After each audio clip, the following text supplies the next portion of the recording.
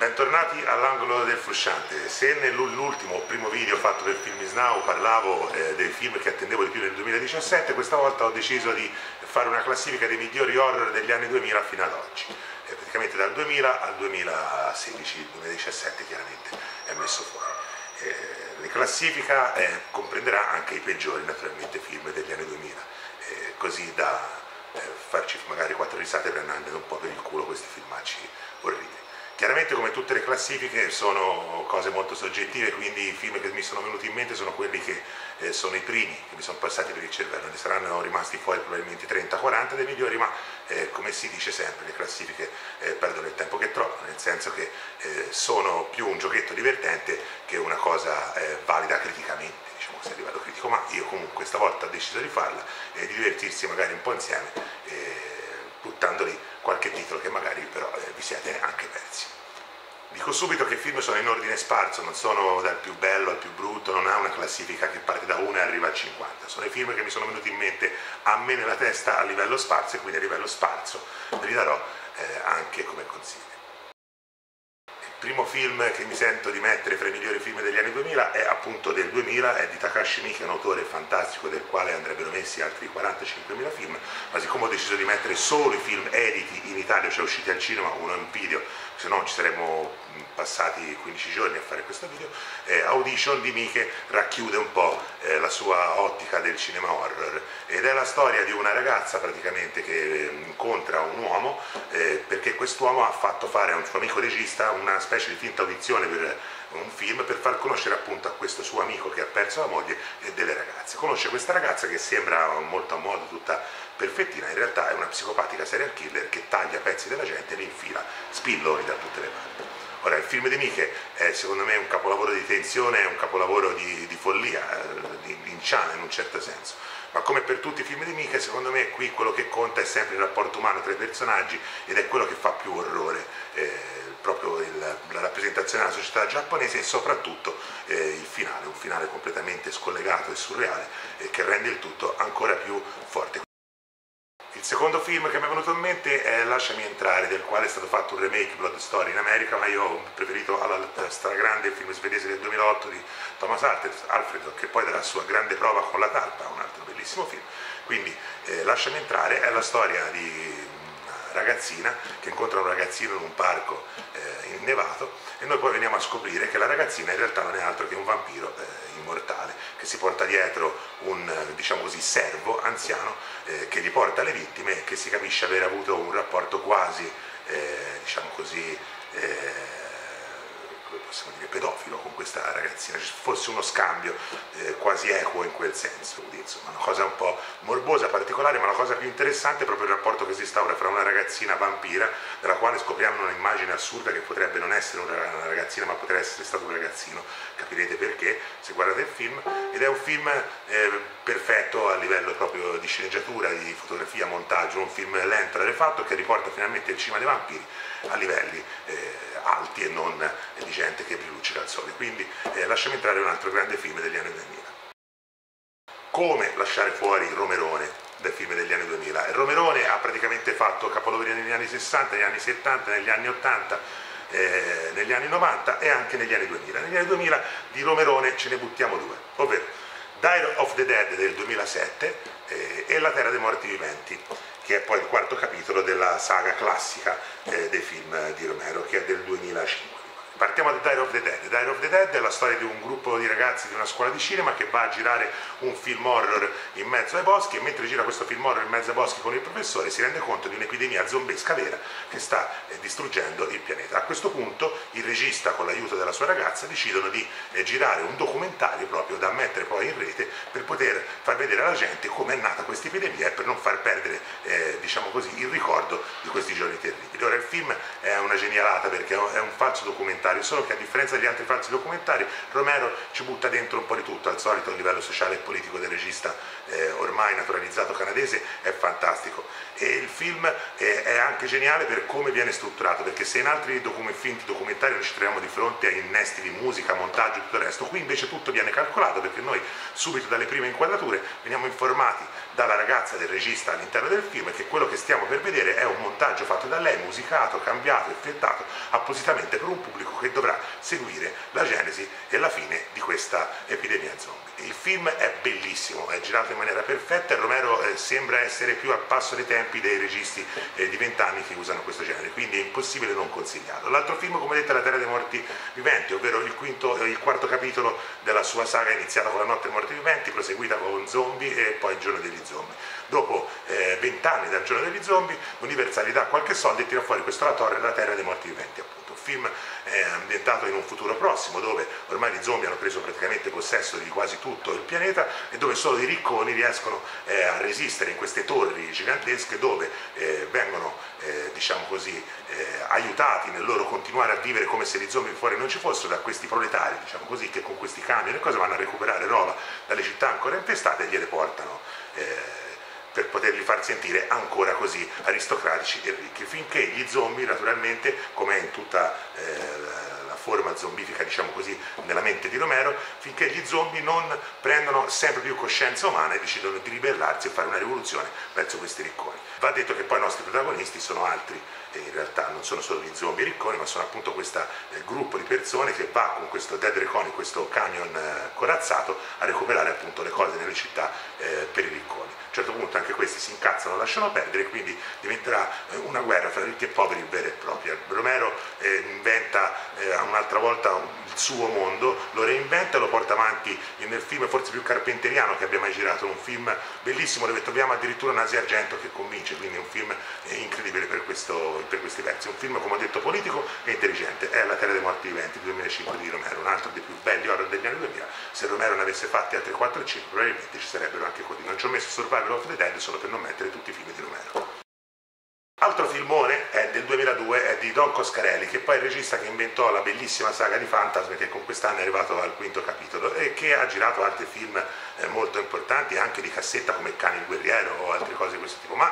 eh, con questo Bubbo Tep appunto del 2002 interpretato da Bruce Campbell eh, me tocca livelli di, del capolavoro assoluto. Ed è la storia eh, di questo settantenne, ottantenne che è in una casa di riposo che dice di essere il vero Elvis. E noi comunque gli crediamo sulla parola. Dice di essere il vero Elvis e si rende conto che in questa di casa di cura c'è eh, una mummia che praticamente viene a ammazzare gli, i vecchi così che la gente non se ne accorga in fin di vita portandoli via l'anima si mette insieme ad un uomo di colore eh, completamente rincoglionito che dice però di essere Kennedy. Eh, questa strana coppia decide di combattere appunto questa mummia che vuole eh, distruggere, come ho detto, le vite eh, di questi ehm, pazienti di questa clinica. Ora, Coscarelli è un grande regista, qui da un romanzo di John Lansdale tira fuori un film bomba, un film imperdibile, uno di quei film che ha segnato negli anni 2000 un certo tipo di svolta anche eh, per Bruce Campbell stesso, che comunque è legato sì, eh, spesso eh, al, al cinema horror, ma qui riesce a dare un Elvis credibilissimo, a girare ehm, un film completamente folle e soprattutto eh, ad essere inserito finalmente come vero protagonista oltre ai film di Remi perché sennò fa sempre il caratteristico quindi sono contentissimo di citare questo Bubbo Tep che è perfetto in tutta la sua eh, diciamo così eh, parte sia tecnica che di sostanza, un film che parla della vecchiaia in maniera allucinante e che fa riflettere forse eh, quanto un film meraviglioso come una storia vera di David Lynch pur essendo completamente diversi sia come forma che come racconto della vecchiaia, ma il succo è sempre quello, quindi grandissimo film Bubo Tep del 2002. Tra i documentari è difficile salvare qualcosa, però in realtà ce n'è uno da salvare, girato da quattro mani da Balaguerò e Plaza, è un film che dura pochissimo, ore 10 ore un quarto, questo film è Rec. Rec è un film molto interessante, è la storia di questa giornalista che sta eh, per filmare il classico documentario sui vigili del fuoco, che si trova invece ad andare dietro ai vigili del fuoco che entrano in un palazzo, peccato che questo palazzo sia infestato dai mostri,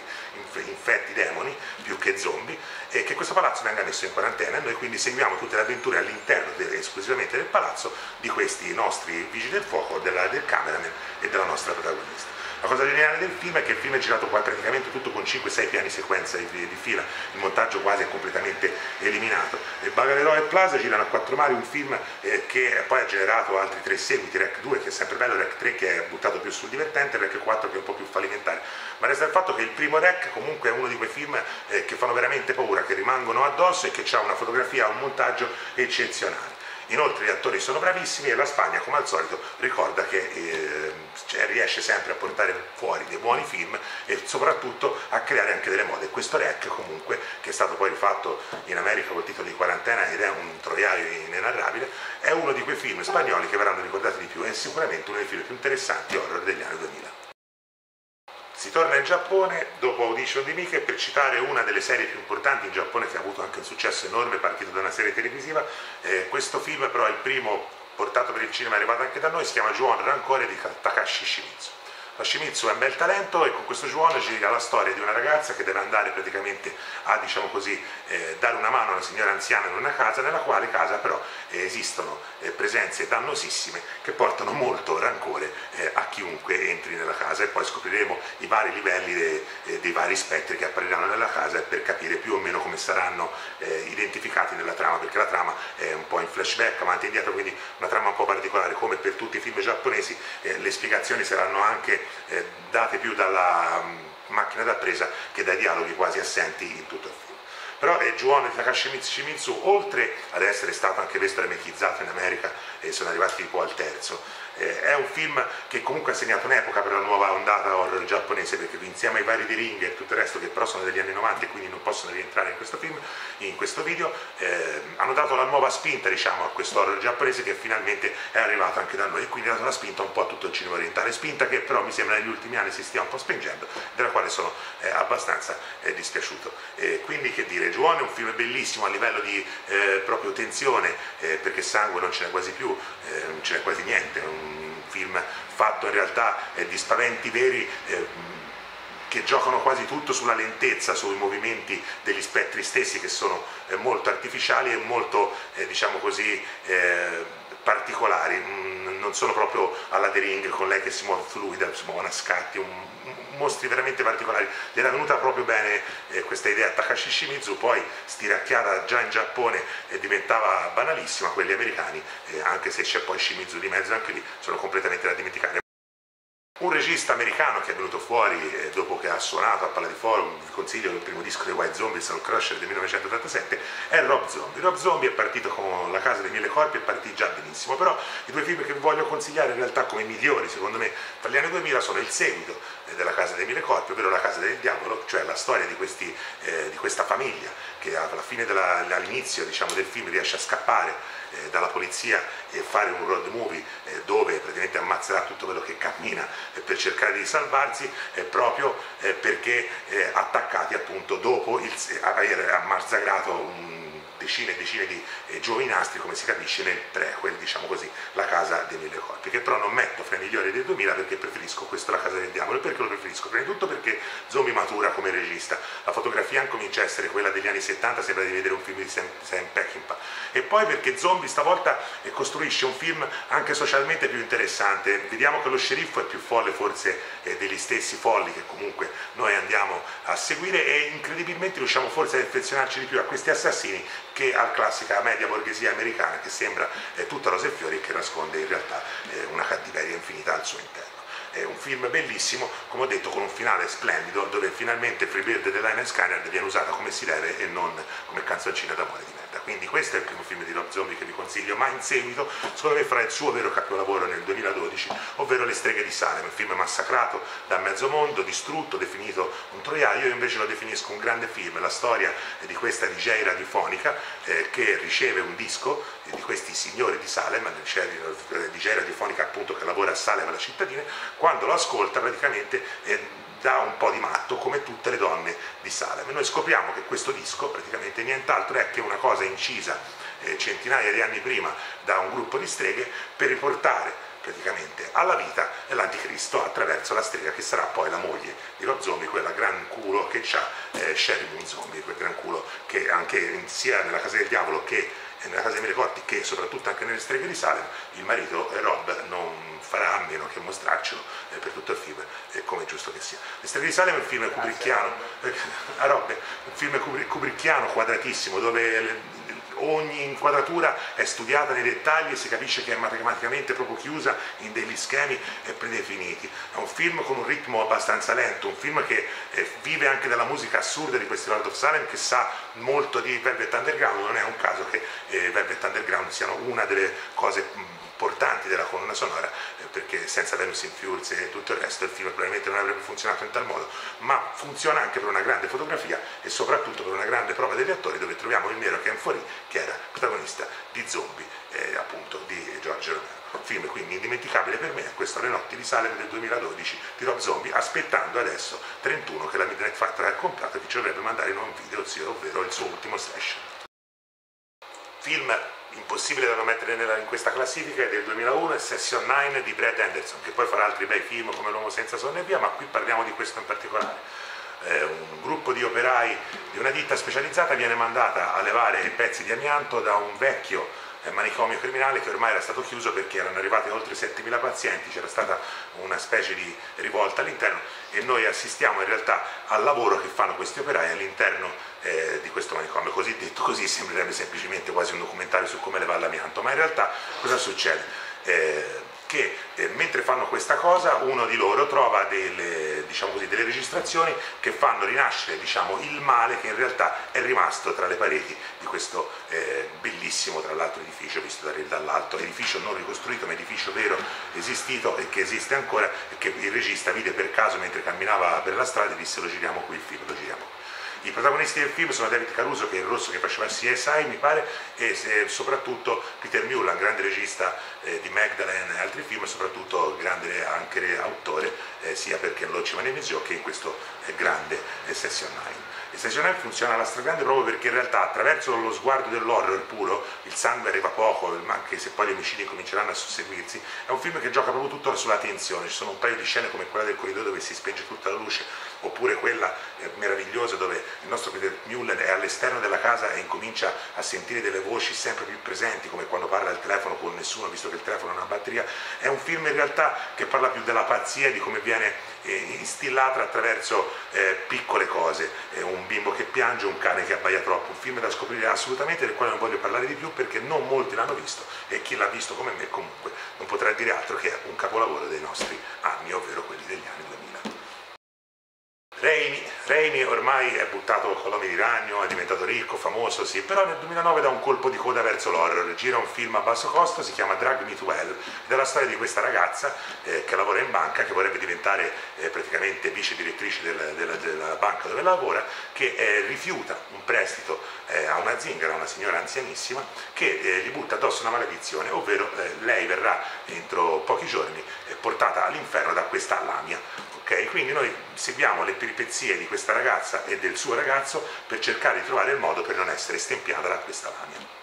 Allora Remy che cosa fa? Gira un film fantastico perché è un film come a suo modo eh, sempre eh, molto personale. Gira questo film che mescola commedia come al solito horror e diciamo così quasi eh, in una messa in scena fumettistica in, in quel senso. Insomma, come dicevo, Raimi gira un film eh, intrigante, interessante e soprattutto con un finale che non ti aspetti anche perché poi tutto vorrebbe anche parlare, ed è impregnato di questo, della situazione economica americana e del eh, disastro che le banche hanno combinato e della impossibilità anche dei poveri di poter avere un aiuto dalle cosiddette banche che comunque vengono sempre aiutate, basta vedere in Italia sganciano miliardi su miliardi per salvarle quando per salvare i cittadini si sgancia manco un euro. Quindi Drag Me to Hell, film politico in realtà nel suo essere un film anche di divertimento politico, horror, commedia, tutto convive benissimo perché Remy è un grande e gira uno dei film più interessanti degli anni 2000 eh, che è questo appunto Drag Me to Hell. Bong Joon-ho è un regista fantastico, uno dei registi coreani più interessanti di sempre e ci regala anche un horror nella sua filmografia fatta da Snowpiercer alla madre a film eh, un po' più d'autore, ma io dico sempre che i film d'autore sono quelli che li fa l'autore, non il genere che viene fatto dall'autore stesso, quindi che dire, questo The Host è un classico film di mostri. È la storia di questo mostro che nasce eh, dal fiume Han eh, in Corea e che praticamente rapisce la figlia eh, di uno che è un po' fuori di testa, che è un grandissimo attore che ritroveremo in 2000 film di Bong Joon, anche mi pare Memories of Murders, il suo capolavoro iniziale, un thriller,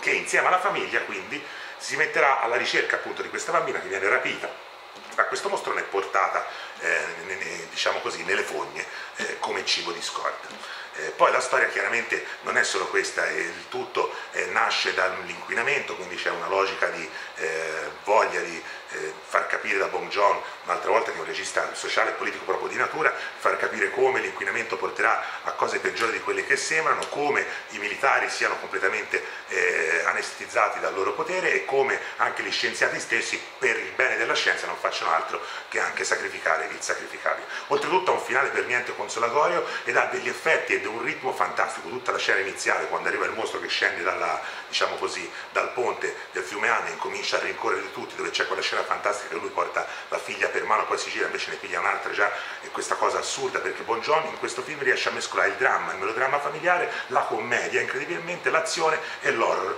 fantasy tutto insieme, quindi The Host non può che essere uno dei migliori film degli anni 2000 film canadese del 2008 di Bruce McDonald, rimasto sottotono, non conosciuto da molti, che si chiama Pontypool. È invece uno dei film più originali e più astuti che mi sia capitato di vedere su un'invasione, diciamo così, zombesca eh, del mondo. Ed è la storia praticamente di un DJ radiofonico eh, che eh, appunto all'interno di questa radio incominciano eh, a parlare e capire che all'esterno di questa stazione sta avvenendo una specie di infezione, una specie di virus, solo che questa volta invece che il virus essere portato da morsi, portato da armi biologiche, portato di che cosa, è portato dalle parole, da ciò che si dice, alcune parole fanno impazzire completamente la gente. Film quindi eh,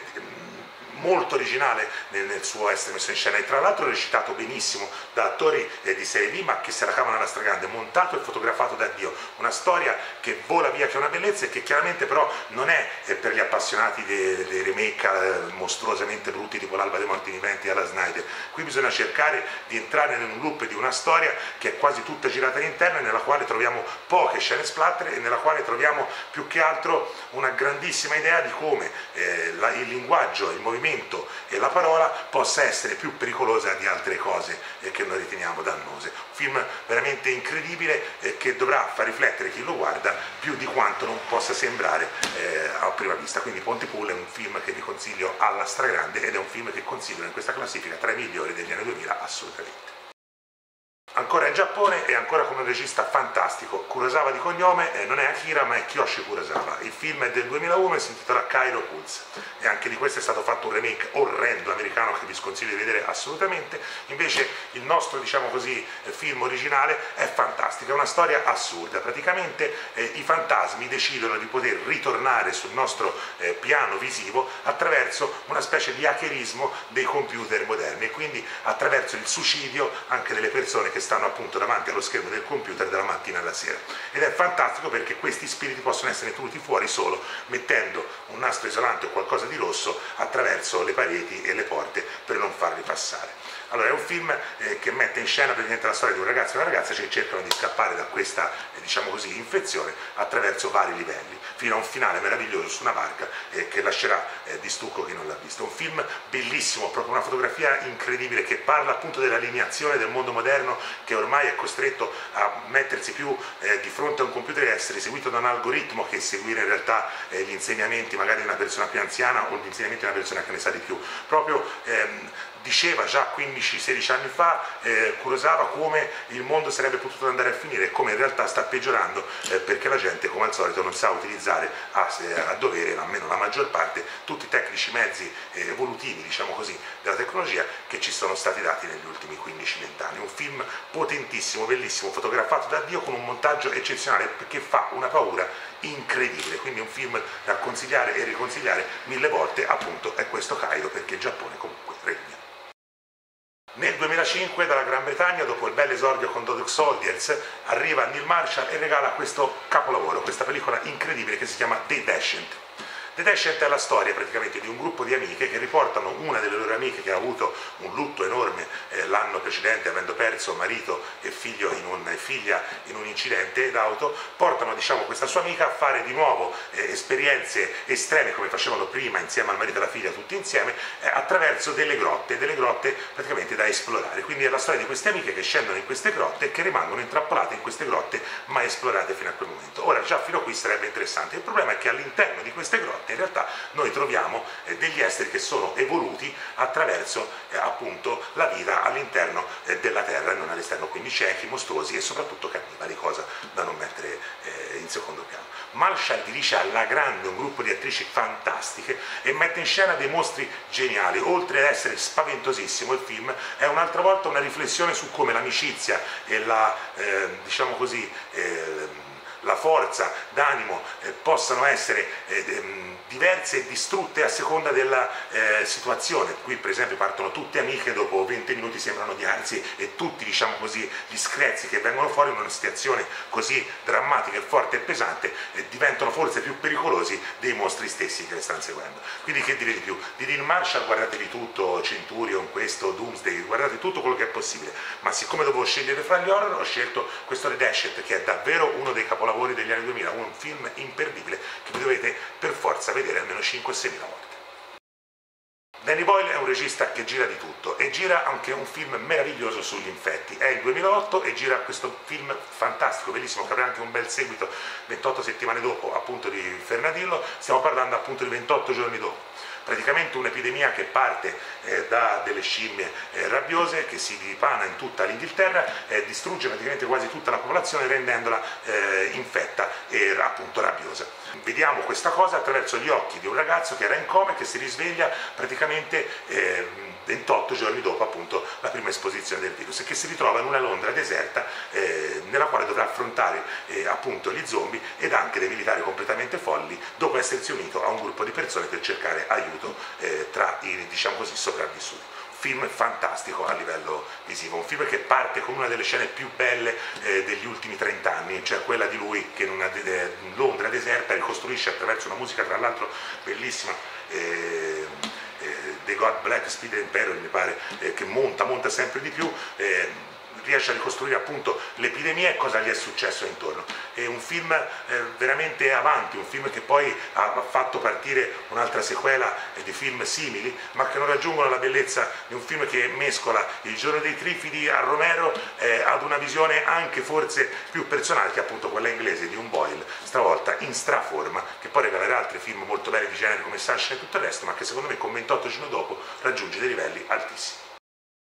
Di The Ring, come abbiamo detto, non si può parlare, è un film del 97-98, quindi non ci conviene nulla, ma possiamo parlare di Hideo Nakata, grandissimo regista, del suo capolavoro assoluto, ovvero questo Dark Water, che poi è la storia di una donna sola, insieme a una bambina, donna madre, e ragazza madre, che vanno a vivere in questo palazzo fatiscente dove è tutto è verde, tutto è blu, dove i colori che vivono in questo mondo sono in realtà così realistici da rendercelo così reale, vanno a vivere in questa eh, nuova casa, diciamo così, in questo palazzo un po' distrutto, eh, nel quale però noi scopriamo esserci stato un omicidio eh, di una bambina che praticamente tornerà rancorosa come Joan a cercare praticamente la madre che, ha, che ha perso durante la sua morte diciamo così. E qui è tutta vicissitudini che ci saranno fra madre e figlia per cercare di sfuggire a questo spettro. Eh, fantastico il film di, di Nakata perché è terrorizzante, nonostante non ci sia una goccia di sangue e giochi tutto sulle pochissime musiche, sui silenzi e su una regia eh, raramente così eh, efficace in un film horror eh, anche orientale, perché qui Nakata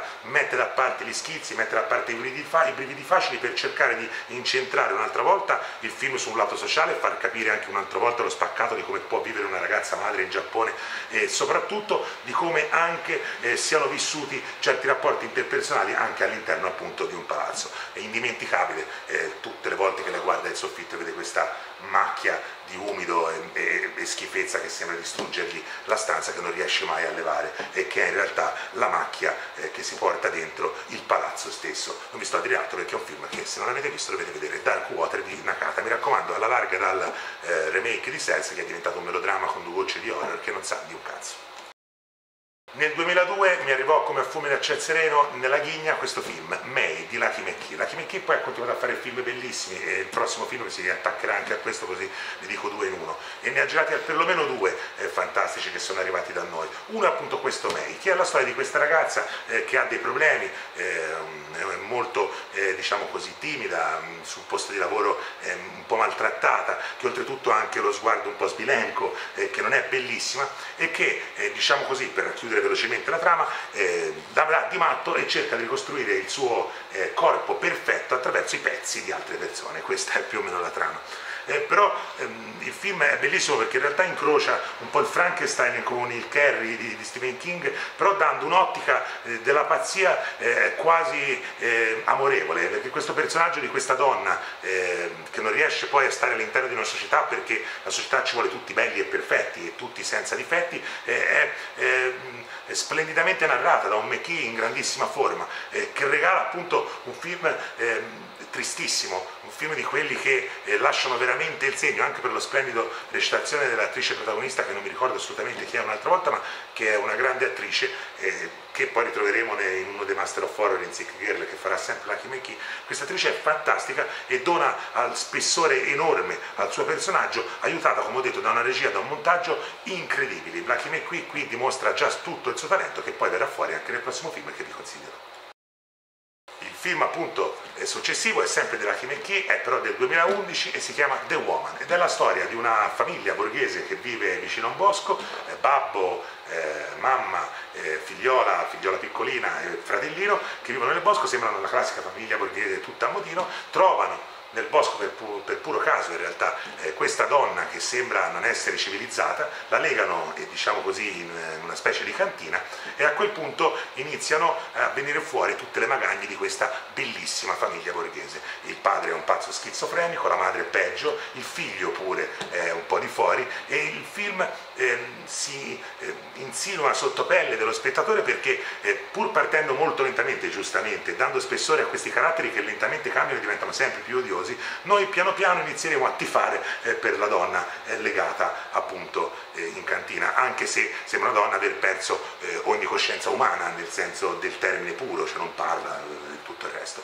Finale è da brividi, è un film meraviglioso che non può lasciare indifferenti, quindi in questa classifica molto veloce The Woman di Lucky McKee non può essere assolutamente lasciato da, una parte perché è uno di quei film che ehm, lasciano eh, il segno e che fanno capire un'altra volta eh, come il talento di Lucky McKee sia ampissimo e come ogni suo film, in realtà anche minore tipo Mistero del Bosco ed altri, debba essere visto. Purtroppo alcuni suoi film come Red, eh, Red appunto non sono arrivati in Italia e come ho detto in questa mia classifica parlerò solo di film usciti editi in Italia o in un video o in eh, cinema. Prossimo film è sempre di infetti, mi ha divertito a bestia di una coppia di registi, Rasher Dan, eh, che poi hanno fatto Goal of the Dead, che è una mezza stronzata, e invece questo The Orde, ovvero La Orde, eh, del 2008 mi pare, eh, è un film fantastico, è la storia di questi poliziotti che decidono di farsi giustizia da soli e di entrare dentro questo palazzo, eh, diciamo così, eh, dove c'è un gruppo di senegalesi, una banda di senegalesi eh, che ha ucciso praticamente un amico di questi qui, di questi qui che fanno irruzione, decidono di fare irruzione eh, per andare a vendicarsi di questi qui, oltre a fare la figura di merda, cioè quando fanno l'irruzione in realtà i, diciamo così, i gangster eh, li fanno quasi fuori tutti e li mettono al muro, fanno subito la figura di merda, il problema nasce sul fatto che oltre ad esserci questa cosa qui inizia a nascere un'epidemia eh, zombifica e di infetti molto simile a quella di 28 giorni per movimenti degli infetti e tutto il resto, che naturalmente porterà i due estremi, ovvero i gangster gangster e i poliziotti a doversi unire per cercare di uscire da questo palazzo e cercare eh, di sollevare eh, la, la, la, loro sorte eh, destinata sicuramente a una morte molto veloce e, e, e, crudele. Il film è bellissimo per come viene girato e messo in scena, un film anche fumettoso, anche divertente quando lui monta sulla macchina, spara, accetta, ammazza tutte, però che non nasconde un'altra volta il lato sociale e politico eh, di, di una Francia che lascia queste bandiere abbandonate a se stesso e soprattutto di questi poliziotti che sembrano tanto d'onore ma che in realtà sembrano più mafiosi e gangster dei gangster stessi. Un film bellissimo che tratteggia anche un, un personaggio, un ex eh, mercenario di una guerra ormai diventato vecchio, che si vorrebbe addirittura stuprare gli zombie, che è disgustoso ancora di più appunto dello zombie stesso. Poi il finale dove in realtà il gangster dimostra molta più umanità eh, dell'ultimo sopravvissuto, diciamo così, della polizia, è grandioso, un finale che resterà, eh, spero, impresso a molti per crudeltà e forza. Pascal Laghiera aveva esordito con un bel film del 2005-2004 che si chiamava Sant'Enge, che non è però tra i più bei film degli anni 2000, però era un bel film che mangiava Fulci, eh, molto d'atmosfera. Però eh, ha avuto un grosso successo e Laghiera di punto in bianco decide di autoprodursi un film fantastico dal titolo Martyrs. Martyrs è la storia di una ragazza che è stata eh, da bambina rapita da una setta di schizzati eh, religiosi eh, cristiani e dal quale è riuscita però a scappare dopo essere stata torturata. Riesce a ritrovare praticamente la famiglia e il gruppo di persone che l'avevano torturata, va in questa casa, ammazza tutti, ma quando arriva lì lei viene fatta fuori e la sua amica che gli stava dando una mano a fare questa vendetta viene presa appunto da questa setta e portata al martirio. In che senso? Nel senso che questa setta vuole portare all'estremo eh, sacrificio del corpo e della mente di ogni persona per vedere che cosa c'è dopo la morte. Eh, come si sa i martiri appunto Giovanna d'Arco e tutto il resto hanno visto cosa c'è dopo. E la storia è questa, lei che viene martorizzata, un film eh, terrificante a livello visivo, occhio per chi è di stomaco debole perché il film eh, passa da bruciature a spellamenti divertimenti alle peggio cose. È un film però che non va visto nell'ottica come possono essere Hostel o film Torture Porn, è un film eh, interessante, intelligente, che parla proprio eh, de della forza d'animo di una persona e della cattiveria innata di chi è... Incredibilmente folle eh, per la religione e quindi integralista per essa. E quindi Martyrs è un film incredibile, imperdibile ed è uno veramente dei più bei film degli anni 2000 e in questa classificozza, che vale per quel che vale perché sono i miei gusti, è comunque un titolo imprescindibile a differenza di altri che magari potreste non essere d'accordo, con questo spero siamo tutti d'accordo perché è un film talmente bello che andrebbe comprato, ricomprato, rivisto 1600 volte per insegnare alle giovani generazioni come fare film a basso budget senza però dimenticare il grande cinema con la C maiuscola. Xavier Gens, prima di perdersi nel filmaccio Hitman che girò appunto con miliardi, eh, aveva fatto un film del 2007 bellissimo che si chiamava Frontiers, che era la storia di questi tre ragazzi, eh, quattro ragazzi mi pare delle bandiere che fanno una rapina in Francia, scappano, vanno verso l'Olanda e si rifugiano in questo ostello. Ostello però gestito da un gruppo di pazzi al cui capo sta questo vecchio nazista che decide praticamente di continuare a portare avanti la razza ariana facendo mescolare i propri figli con la gente che rapisce e che uccide e che tortura. Quindi un film eh, politico anche in un certo senso, dove il nazismo fa capire che questo film non è mai morto né finito, ma un film eh, atroce, nel senso che un po' come per Martins, anche qui le torture e la violenza psicologica la fanno dal padrone. Certo è eh, che Xavier Gens gira in una maniera perfetta anche le scene, diciamo così, sia iniziali, quelle di presentazione dei personaggi, e non si dimentica soprattutto di dare psicologie ben definite anche ai cattivi, anche se per pochi secondi noi riusciamo a capire la figlia, riusciamo a capire il figlio folle, ciccione, riusciamo a capire quello quello che diventerà poi chiaramente il nuovo padre alla morte del vecchio. E, di, e quando lui si mette la, la divisa nazista un film veramente a tratti delirante con un finale bellissimo come al solito fotografato da Dio e con una pioggia eh, che raramente rende così sul grande schermo. Quindi che dire dalla Francia? Un altro bellissimo film appunto di Xavier Gens prima che si perdesse a Hollywood girando quella merda che è Hitman. Ora io Stuart Gordon l'ho sempre amato dai tempi di Reanimator e negli anni 2000 grazie alla Filmax e grazie a Yuzna che gliel'ha prodotto e a, soprattutto e appunto alla Filmax, grande casa di produzione spagnola, eh, fonda questa Fantastic Factory e tira fuori tra i vari prodotti questo Dagon. eh, che Stuart Gordon dirige appunto nel 2001 con grandissima mano perché è un film a bassissimo costo. Ed è la storia eh, di un gruppo di persone che è su una barca che si ritrova praticamente in una tempesta e che è costretta ad, a, ehm, a buttarsi praticamente dentro un paesino di, di riva lì vicino alla barca per non schiantare e che eh, scoprono a, a, loro volta quando appunto arrivano su questo paesino che in realtà il paesino è governato da questi uomini, mezzi uomini e mezzi pesci, tutti devoti eh, al grande dio Dagon che è il dio del mare eh, di Lovecraftiana memoria appunto dei miti di Cthulhu. Ora, il film è bellissimo per atmosfera e stile è chiaro che è un film a basso costo, quindi probabilmente la gente storcerà il naso per qualche effetto speciale un po' così, un po' così, ma il film è un film che ha 15-16 anni ed è uno dei film che in realtà rappresenta meglio la logica Lovecraftiana eh, de della pazzia, del, dell'umanità e di come in realtà... Ehm, si cerchino cose estreme per essere contenti e felici come la ricchezza e l'oro che porteranno però in realtà grossi danni. Non vi voglio dire di più perché sennò vi sputtano tutta la storia, ma il film è veramente fortissimo, è un film oltretutto... Eh, che naturalmente è di produzione spagnola, che da qui in videoteca poi da me ha avuto un grande successo di cassetta e che piace soprattutto perché, come ho detto, le atmosfere, più che il resto, nonostante ci sia anche lì un par di scene veramente violente a livello di sangue, lo spellamento del grande Francisco Raval, l'ultimo film che ha fatto e poi è morto, che fa il vecchio, eh, saggio, diciamo così, ma pazzo del, del, del, paesino, eh, sono comunque veramente ben fatti senza l'utilizzo della computer grafica, una scena terrificante. Quindi Dagon è un film che, che per chi come me ama Lovecraft e di solito viene... Eh, come si, come si dice, eh,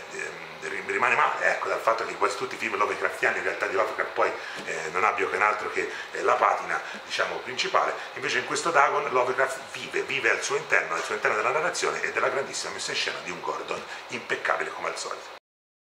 Sempre per la Filmax, sempre per la produzione di Fernandez sempre con Yuzna in produzione, stavolta è alla regia di uno dei film più assurdi eh, che si siano visti negli anni 2000, ovvero Beyond Reanimator. Qui qualcuno dirà una cagata, ma non è una cagata un cazzo, è il terzo capitolo delle avventure del rianimatore appunto di Lovecraftiana memoria, qui però eh, Yuzna eh, ambienta il tutto dentro un carcere, ormai il nostro eh, Wester, West, il nostro dottore pazzo che ha inventato il fluido per rianimare i morti, eh, è messo in galera, però dalla galera riesce a continuare a fare i suoi cazzo di esperimenti e a far venire fuori una serie, una specie di ribellione zombie all'interno di questa galera è completamente folle. Come dicevo, il film è chiaramente, come quasi sempre per i film yuznaiani, diciamo che vanno da Sia Society che Reanimator 2, sono film, o Faust stesso, sono film che mescolano quasi sempre la commedia eh, alla peggiore eh, idea eh, dell'idea proprio di come l'essere umano eh, possa essere crudele eh, contro i suoi simili. Ma qui cosa succede? Oltre ad essere completamente folle, ben girata e tutto, abbiamo una delle scene più deliranti che il cinema ci abbia mai offerto, ovvero la lotta fra un pene mozzato zombie ed un ratto. Mm, che cosa posso dire di più? Sul pene mozzato e uno zombie ratto che fanno a botte posso chiudere appunto il consiglio di Beyond the Reanimator come uno dei migliori film degli anni 2000. Refn è un signor regista, è passato da tutti i generi, Drive, Valhalla Rising, il noir, il fantasy, l'avventura, eh, ma The Neon Demon appunto del 2016 è uno dei film maggiori degli anni 2000 e va tenuto in considerazione ed è la storia, eh, la protagonista è Elle Fanning, di questa ragazzina che decide di andare a fare un provino per una casa di moda e che viene subito presa e apprezzata da tutti come eh, la nuova dea della moda eh, così dal niente, come se la bellezza fosse qualcosa eh, distre, distregato, affascinante a tal punto che nessuno eh, gli riesce a dire di no su nessuna cosa. Questo chiaramente porterà il poco apprezzamento sia delle altre modelle che delle persone che gli stanno intorno nell'ambiente che incominciano a odiarla. Allora, Refn decide di girare un film sulla bellezza, eh, portando in scena appunto quasi tutte donne bellissime e consapevolmente dando la parte a Elle Fanning che ha una bellezza talmente eh, bambinesca, fanciullesca, androgina ma eh, perfetta in un certo senso, senza una sbavatura, eh, che la rende idonea alla parte al 100%. Il film eh, scorre attraverso vari generi, si passa dal dramma in realtà al film di fantascienza in un certo senso, al fantasy ed ha scene oniriche completamente folli, fino ad un finale crudelissimo, cattivissimo, dove la violenza viene eh, praticamente eh, portata eh, all'estremo appunto dalla bellezza eh, di Elle Fanning verso gli altri protagonisti e dove la violenza stessa però il Refn decide di portare praticamente in ellisse quasi sempre fuori campo, tranne per una scena fantastica dove vomita l'occhio poi vedrete quell'altra se lo mangia diciamo mentre una si sbudella. Qui viene fatto mostrare tutto, ma non voglio dire di più, come ho detto un video di consigli non è un video eh, di recensioni critiche, sono consigli chiaramente di film che io adoro. E questo Neon Demon mi è riparto subito nel cuore, me lo sono preso in Blu-ray l'ho già visto 5-6 volte, perché una fotografia del genere, una messa in scena di quel tipo, così costruita perfettamente con una musica eccezionale que, ehm, che anch'essa eh, rimane perfettamente nell'orecchio dello spettatore insieme alle immagini, è di rarissima eh, visione, io ho visti pochissimi film che funzionano così tanto, certo è che Refn è uno dei talenti più importanti degli ultimi vent'anni e anche anche quando tocca il thriller horror come con The Neon Demon, dimostra tutte le sue capacità. La Greg McLean aveva già girato un bel film che si chiamava Wolf Creek. Io avevo già detto, ma un bel film, un bel set, un film buono, ben fatto, sì. Non mi aspettavo che girasse un seguito come Wolf Creek 2, che poi è la storia che prosegue, ehm, diciamo così, non realmente, ma eh, materialmente attraverso uh, il, nostro cattivo, che poi è il solito bifolco eh, australiano, che stermina praticamente ragazzini sulla strada dei deserti australiani che sono pieni. Eh, questo Wolf Creek 2 però che cosa fa a differenza del primo? Se il primo era molto l'atmosfera, la violenza esplodeva in due o tre punti, questo film parte già con una botta di splatter che lascia tutti a bocca aperta, anche perché Greg Lynn, eh, McLean riesce a girare tutto perfettamente e trova quel protagonista con quel faccione assurdo che sembra un po' di vedere un Mr. Crocodile Dundee che invece di essere simpatico è incazzevole e razzista perché ce l'ha con tutti tranne che con noi australiani. Infatti sono tutte fantastiche tutte le scene di rimbalzo con lui e il nostro, diciamo così, la nostra vittima che deve riuscire a rispondere sulle cose sull'Australia senza cercare di farlo incazzare per cercare di non morire. Il film ha un ritmo indiavolato ed è uno, lo slasher probabilmente più riuscito eh, di tutti gli anni 2000, un film violentissimo che va visto con uno sguardo anche qui sociale e politico verso un ambiente, quello australiano, che è sì così contro natura verso gli uomini, perché quei deserti sono quasi invivibili, così come contro la natura umana è appunto il nostro cattivissimo protagonista che è veramente una delle figure più nere ed azzeccate del cinema horror moderno. Craig Zeller eh, dirige un film che non posso non consigliare con Kurt Russell che si chiama Bone Tomahawk ed è un horror eh, western, diciamo così. Se tutta la prima parte di horror è veramente poco, basterebbero gli ultimi dieci minuti per candidarlo fra uno dei film più violenti degli ultimi vent'anni per sguardo visivo e anche per scelte proprio registiche. È la storia praticamente in un posto sperduto eh, dell'America ai tempi appunto del Far West, dove eh, non c'è un cazzo in quel periodo perché eh, le vacche sono partite, quindi è un posto che diciamo vive essenzialmente in periodi dell'anno diversi, dove vengono rapite delle persone e un gruppo di altre persone decide di partire per andare a trovarle e portarle a casa. Naturalmente eh, il tutto non andrà come previsto perché eh, gli indiani stessi, i nativi americani stessi, hanno addirittura paura ad avvicinarsi a questa tribù che dovrebbe aver rapito eh, praticamente eh, la donna di uno del villaggio e, tutto, e altre persone. È un film, come dicevo, che vive eh, di grandissima interpretazione perché c'è un Kurt Russell fantastico, vive soprattutto di una messa in scena eccezionale. Siamo di fronte a un film che ricorda Sergio Leone eh, per come è messo in scena, che però, eh, diciamo così, eh, non esalta mai la figura del pistolero, la figura dello sceriffo, molto realistico nella scelta dei personaggi, così come è molto realistico in realtà nel finale horror, non, non la butta di fuori con cose esoteriche o campate in aria, anzi rimane ben saldo in terra e tutta, diciamo così, senza svelare troppo la scena dello scuoiamento è una delle scene più terrificanti che mi sia mai capitato di vedere, quindi quando mi capita di vedere una scena così terrificante non può essere che uno dei migliori film degli anni 2000 a livello horror, questo Bone Tomahawk purtroppo non è distribuito solo in DVD, ma perlomeno l'abbiamo trovato, visto e rivisto più volte. Di Babadook ha parlato tutto il mondo, ne parlo anch'io, ho fatto anche video sul mio canale, se volete vedere sia la recensione del film che l'ho messo tra i migliori di quell'anno. Babadook nel 2014 Jennifer Kent, una regista australiana, la sua opera prima, racconta la storia di una madre eh, rimasta eh, sola eh, perché il marito è morto quando lo portava in ospedale per partorire il figlio, che rimane da sola appunto con il figlio, con il quale ha un rapporto eh, freddissimo e di quasi assoluta eh, mancanza di amore, diciamo così. A un certo punto eh, questo eh, bambino le chiede di raccontargli una storia e lei prende dalla libreria un libro, che è appunto questo Babadoc, ed è il libro di questo uomo nero che torna a vendicarsi e uccidere tutto il resto. E naturalmente per colpa eh, dei sensi, probabilmente di colpa e la responsabilità della madre, questo mostro prende davvero vita e inizia davvero a cercare di far fuori sia il bambino che la madre. Questa è più o meno la trama di Babadoc. Poi che all'interno di Babadoc in realtà eh, la regista abbia cercato di parlare di tutt'altro, cioè del rapporto in realtà ehm, eh, crudele che una madre può avere verso un figlio eh, dandogli tutte le colpe della morte del padre e di come lo stesso figlio, eh, ancora troppo piccolo per poter capire certe cose, in realtà non riesca a reagire nella maniera giusta a determinate scelte anche della madre che però durante il film diventa sempre più crudele e sempre più eh, violenta verso appunto il piccolo, fino al grandioso finale semi-psicanalitico che nessuno ha capito con il mostro eh, in cantina, non mi svelo dell'altro, che è una delle scene più belle e interessanti eh, degli ultimi anni. E Babadoc non è altro che uno dei film più belli appunto degli ultimi vent'anni a livello di horror e quindi non poteva che non mancare in questa grande classifica dei film migliori horror degli anni 2000 che vi dono con tutto il cuore. Ben Wheatley, altro inglese, altro pazzoide un po' come Marshall. Eh, ben Wheatley ha girato dei bei film, ehm, sempre tutti interessanti, anche a Field of England, tutti i film, però secondo me il suo capolavoro è un film meraviglioso eh, che si avvicina molto al folklore inglese e delle sette di tutto il resto e appunto a film come Wicker Man con Christopher Lee degli anni 70 è Kill List, eh, mi pare del 2011, sì. Kill List narra la storia di questo ex militare che viene, praticamente non c'ha più una lira nella merda, viene chiamato da un tipo e si mettono insieme d'accordo per andare a cacciare ed uccidere delle persone che hanno in lista. Questa è più o meno la trama. Ben Wheatley dirige con una mano fantastica, un film che cresce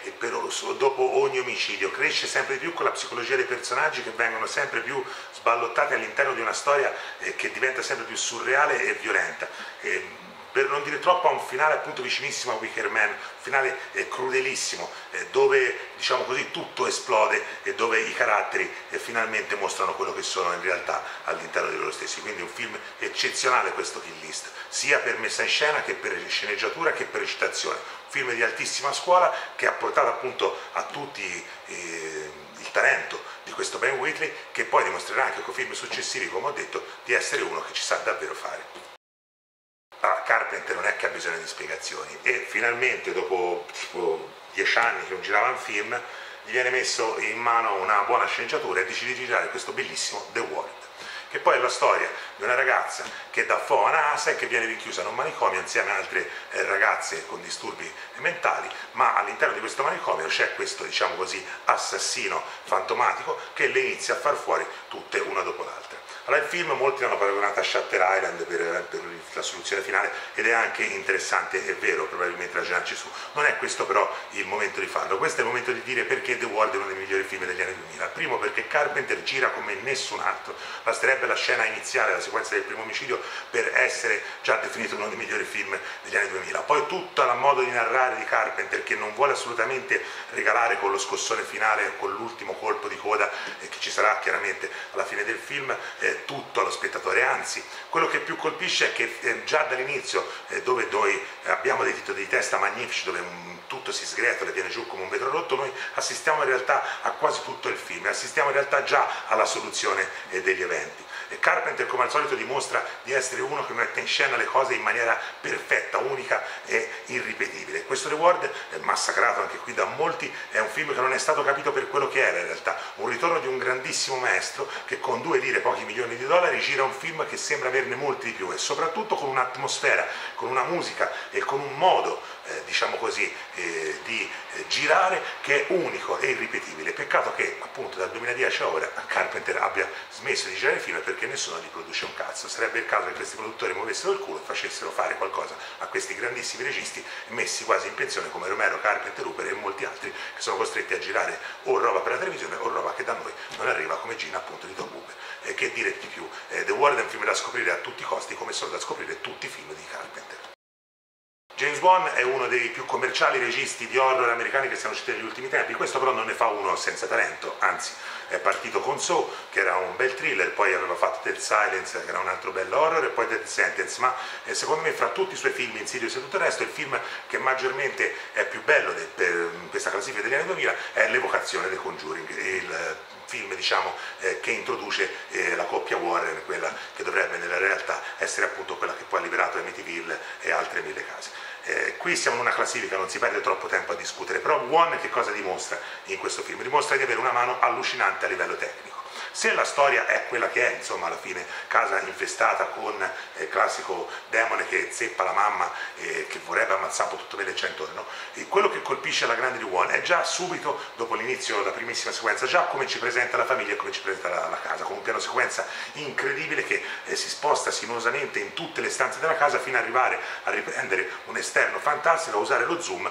e trasportarci finalmente, eh, diciamo così, eh, nella nuova Hollywood, diciamo così, nel modo di girare dei grandi registi registi eh, come erano appunto Carpenter, Romero, Tom Hooper, Wes Craven e altri grandi registi horror che Precedema sua o Craven è morto che comunque non lavorano più. E con questo The Conjuring eh, noi ci troviamo di fronte a un film che colpisce veramente a fondo, colpisce a fondo anche perché nonostante sia basato da una storia vera, io sono ateo come un muro, quindi non credo un cazzo di queste cose, però attacca la gente al cinema no, basato su una storia vera, è un film che basato non su una storia vera funziona veramente alla stragrande perché è One che con la sua grande tecnica riesce a dare sostanza a qualcosa che ha poca sostanza, la classica storia che abbiamo visto mille volte, ma come dicevo il regista secondo me e il suo sguardo fanno a volte di più delle sceneggiature che poi eh, horror di questo tipo si assomigliano un po' tutte. Questo James Wan ha dimostrato anche con Conjuring 2, con Insidious 2 che è un bellissimo film, di essere un grande eh, mettitore di roba in scena, un grande regista, come suol dirsi, a livello proprio tecnico. Non un autore al 100%, non è un Carpenter, però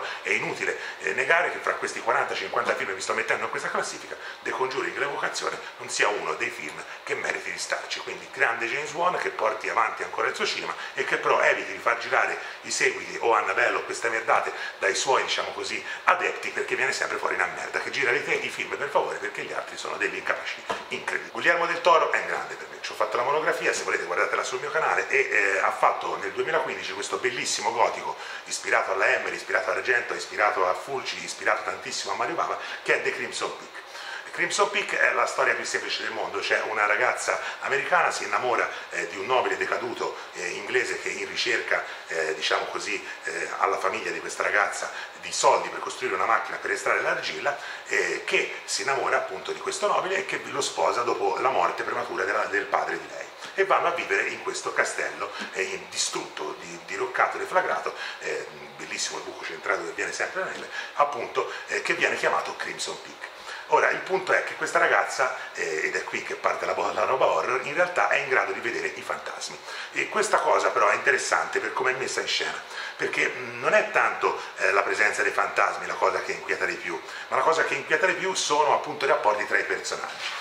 come dicevo, la cosa più interessante non è tanto gli spettri che sono fatti benissimo e che del Toro, ma è proprio i rapporti che iniziano a nascere fra la moglie, il marito e la sorella, che noi capiamo subito essere una folle eh, completa. Il film poi eh, ha dalla sua una messa in scena incredibile, la fotografia è meravigliosa, la, i costumi e le scenografie sono fantastici e tutti e tre gli attori, eh, Mia Varlowski mi pare che si chiama, eh, il nostro eh, Loki, che cazzo mi sfugge sempre il nome, eh, ma Tom Middleton mi pare o qualcosa del genere, è bravissimo, e poi c'è l'altra protagonista che fece anche La Madre, un buon film eh, della quale un'altra volta mi sfugge il nome, ma tanto poi li andrete a vedere, che è ancora eh, più brava, un film eh, bellissimo dall'inizio alla fine, eh, dove Del Toro dimostra un'altra volta di avere una mano incredibile per ogni cosa che tocca, che, va, che sia Mimico, sia Pacific Rim o che sia il boy, eh, riesce sempre a trasmettere il suo modo di porre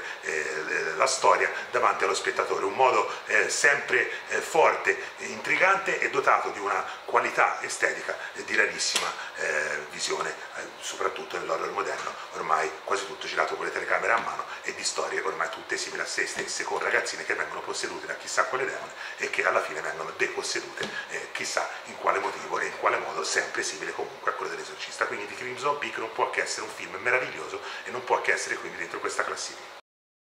Altro film eh, magnifico che va di diritto, uscito nel 2014 ma arrivato da noi in pochissimi cinema nel 2016, è di questa Ana Valletta Lili Amirpur, eh, del quale eh, ho già parlato nel meglio e del peggio sul mio canale, ma che devo mettere per forza anche in questa classifica dei migliori film degli anni 2000, per questo A Girls Walks Alone at Night, mi pare si chiami così il titolo, di produzione americana, nonostante la regista sia, mi pare, iraniana di provenienza, diciamo così. E poi in realtà inglese come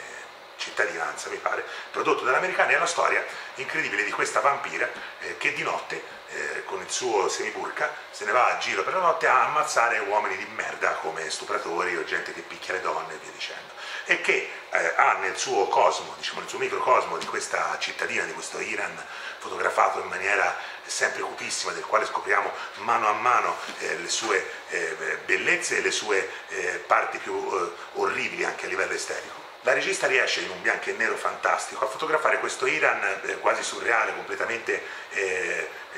destrutturato quasi dall'Iran reale, nel quale si muove però, diciamo così, il suo che diventerà così amore, che è un ragazzo in realtà che ha un padre tossicodipendente che è quindi invecchiato in cose più grosse di lui per cercare appunto eh, di tenere su il padre. E in più ci troveremo la storia di un bambino, di una famiglia, è un film che parla anche di questo eh, eh, microcosmo di persone nel quale però gira appunto questa vampira. Questa vampira fantastica che in una scena per esempio meravigliosa prende il bambino e gli dice oh, guarda li cresce bene, non fa casino le donne, non fare un cazzo perché poi ti vengo a cercare. Una scena terrificante, in più gli ruba lo skate e vedere poi in realtà questa vampira che va sullo skate un po' eh, anche in maniera eh, poco pratica perché probabilmente non l'ha mai utilizzato, diventa anche esilarante. Quindi che dire, la regista eh, riesce, nonostante sia giovanissima, a unire eh, il dramma sociale, eh, un po' di commedia all'horror puro in un film indimenticabile.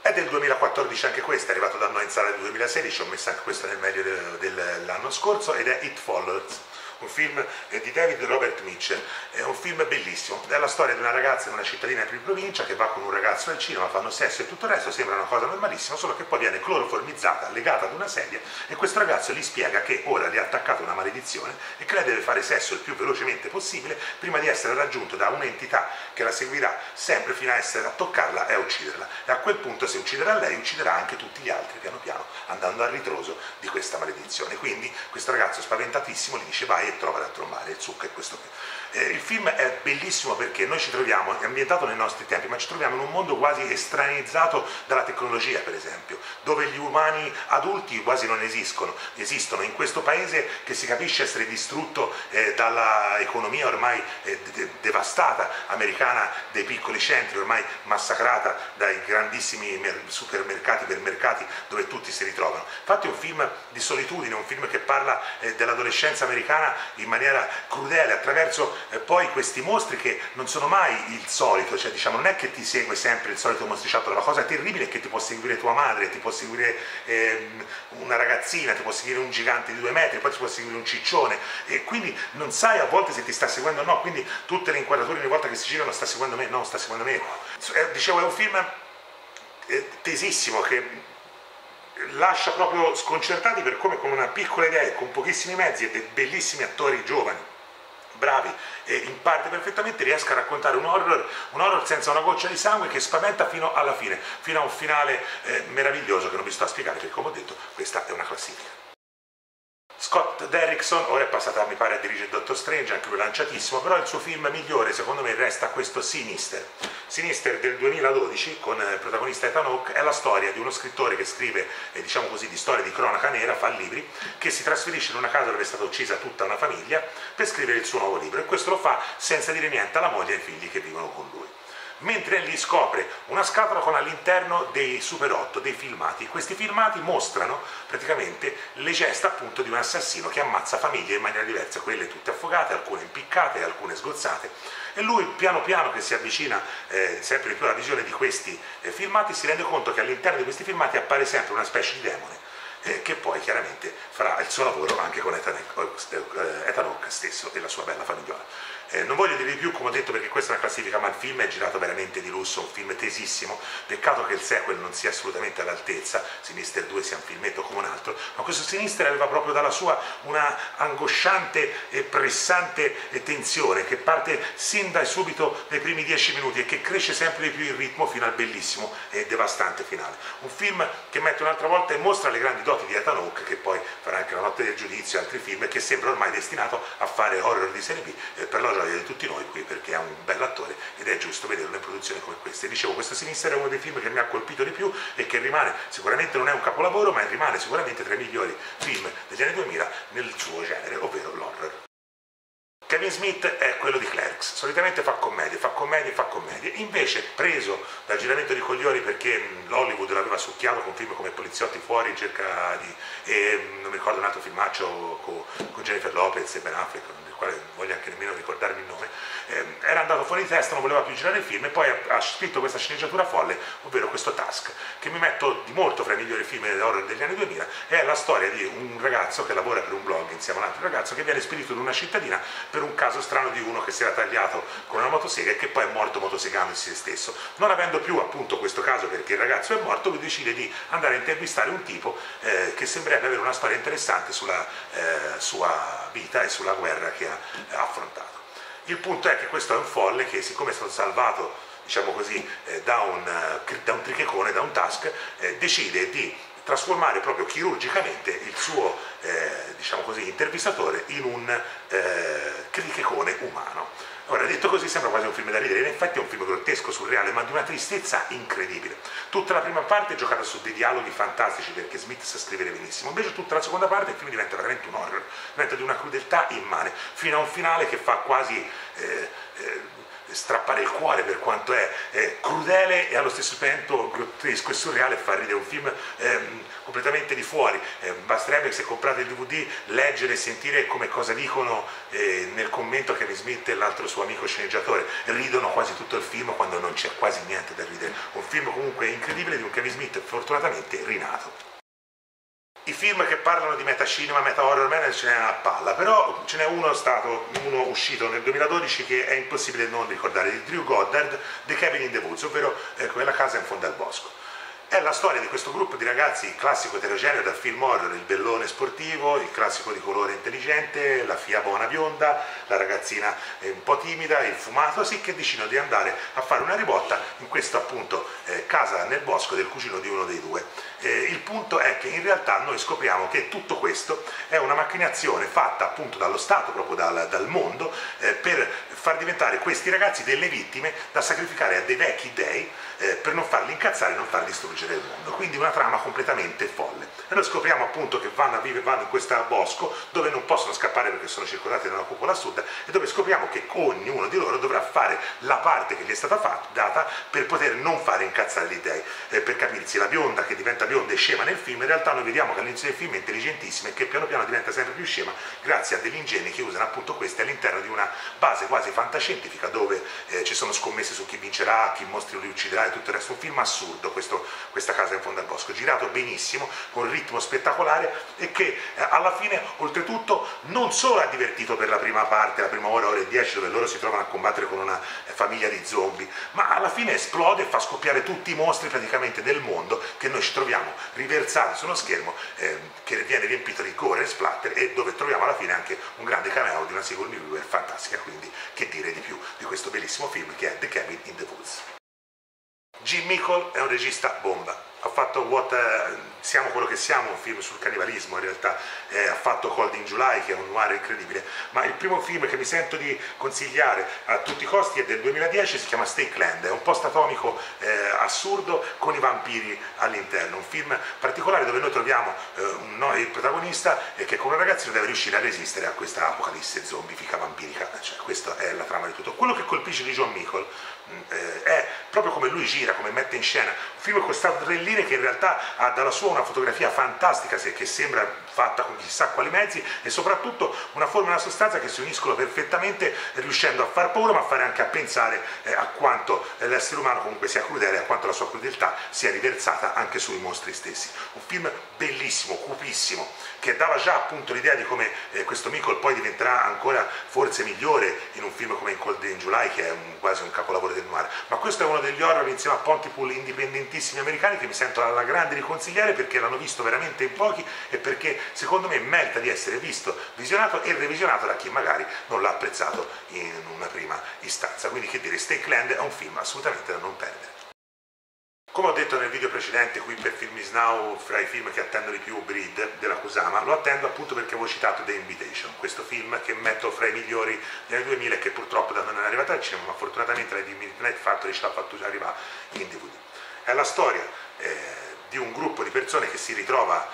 a cena in una casa eh, tra questo gruppo di persone ci sono un ex marito e un'ex moglie che non si vedono da anni, che hanno perso, si capisce, un bambino, si sono per questo divisi e che eh, incredibilmente vengono riuniti in questa cena perché invitati appunto da lei e dal suo nuovo uomo nella vecchia casa in cui il nostro, diciamo così, marito abitava. E in più vengono invitati altri amici, quindi questo gruppo di persone si trova a fare una cena normalissima. Il problema è che dopo un po' questi, che sembrano tutti allegri, tutti a modino, tutti un po' eh, sopra le righe, diciamo, eh, incominciano a dire che fanno parte di una setta che idolatra, diciamo così, un santone che idolatra la morte come liberazione totale.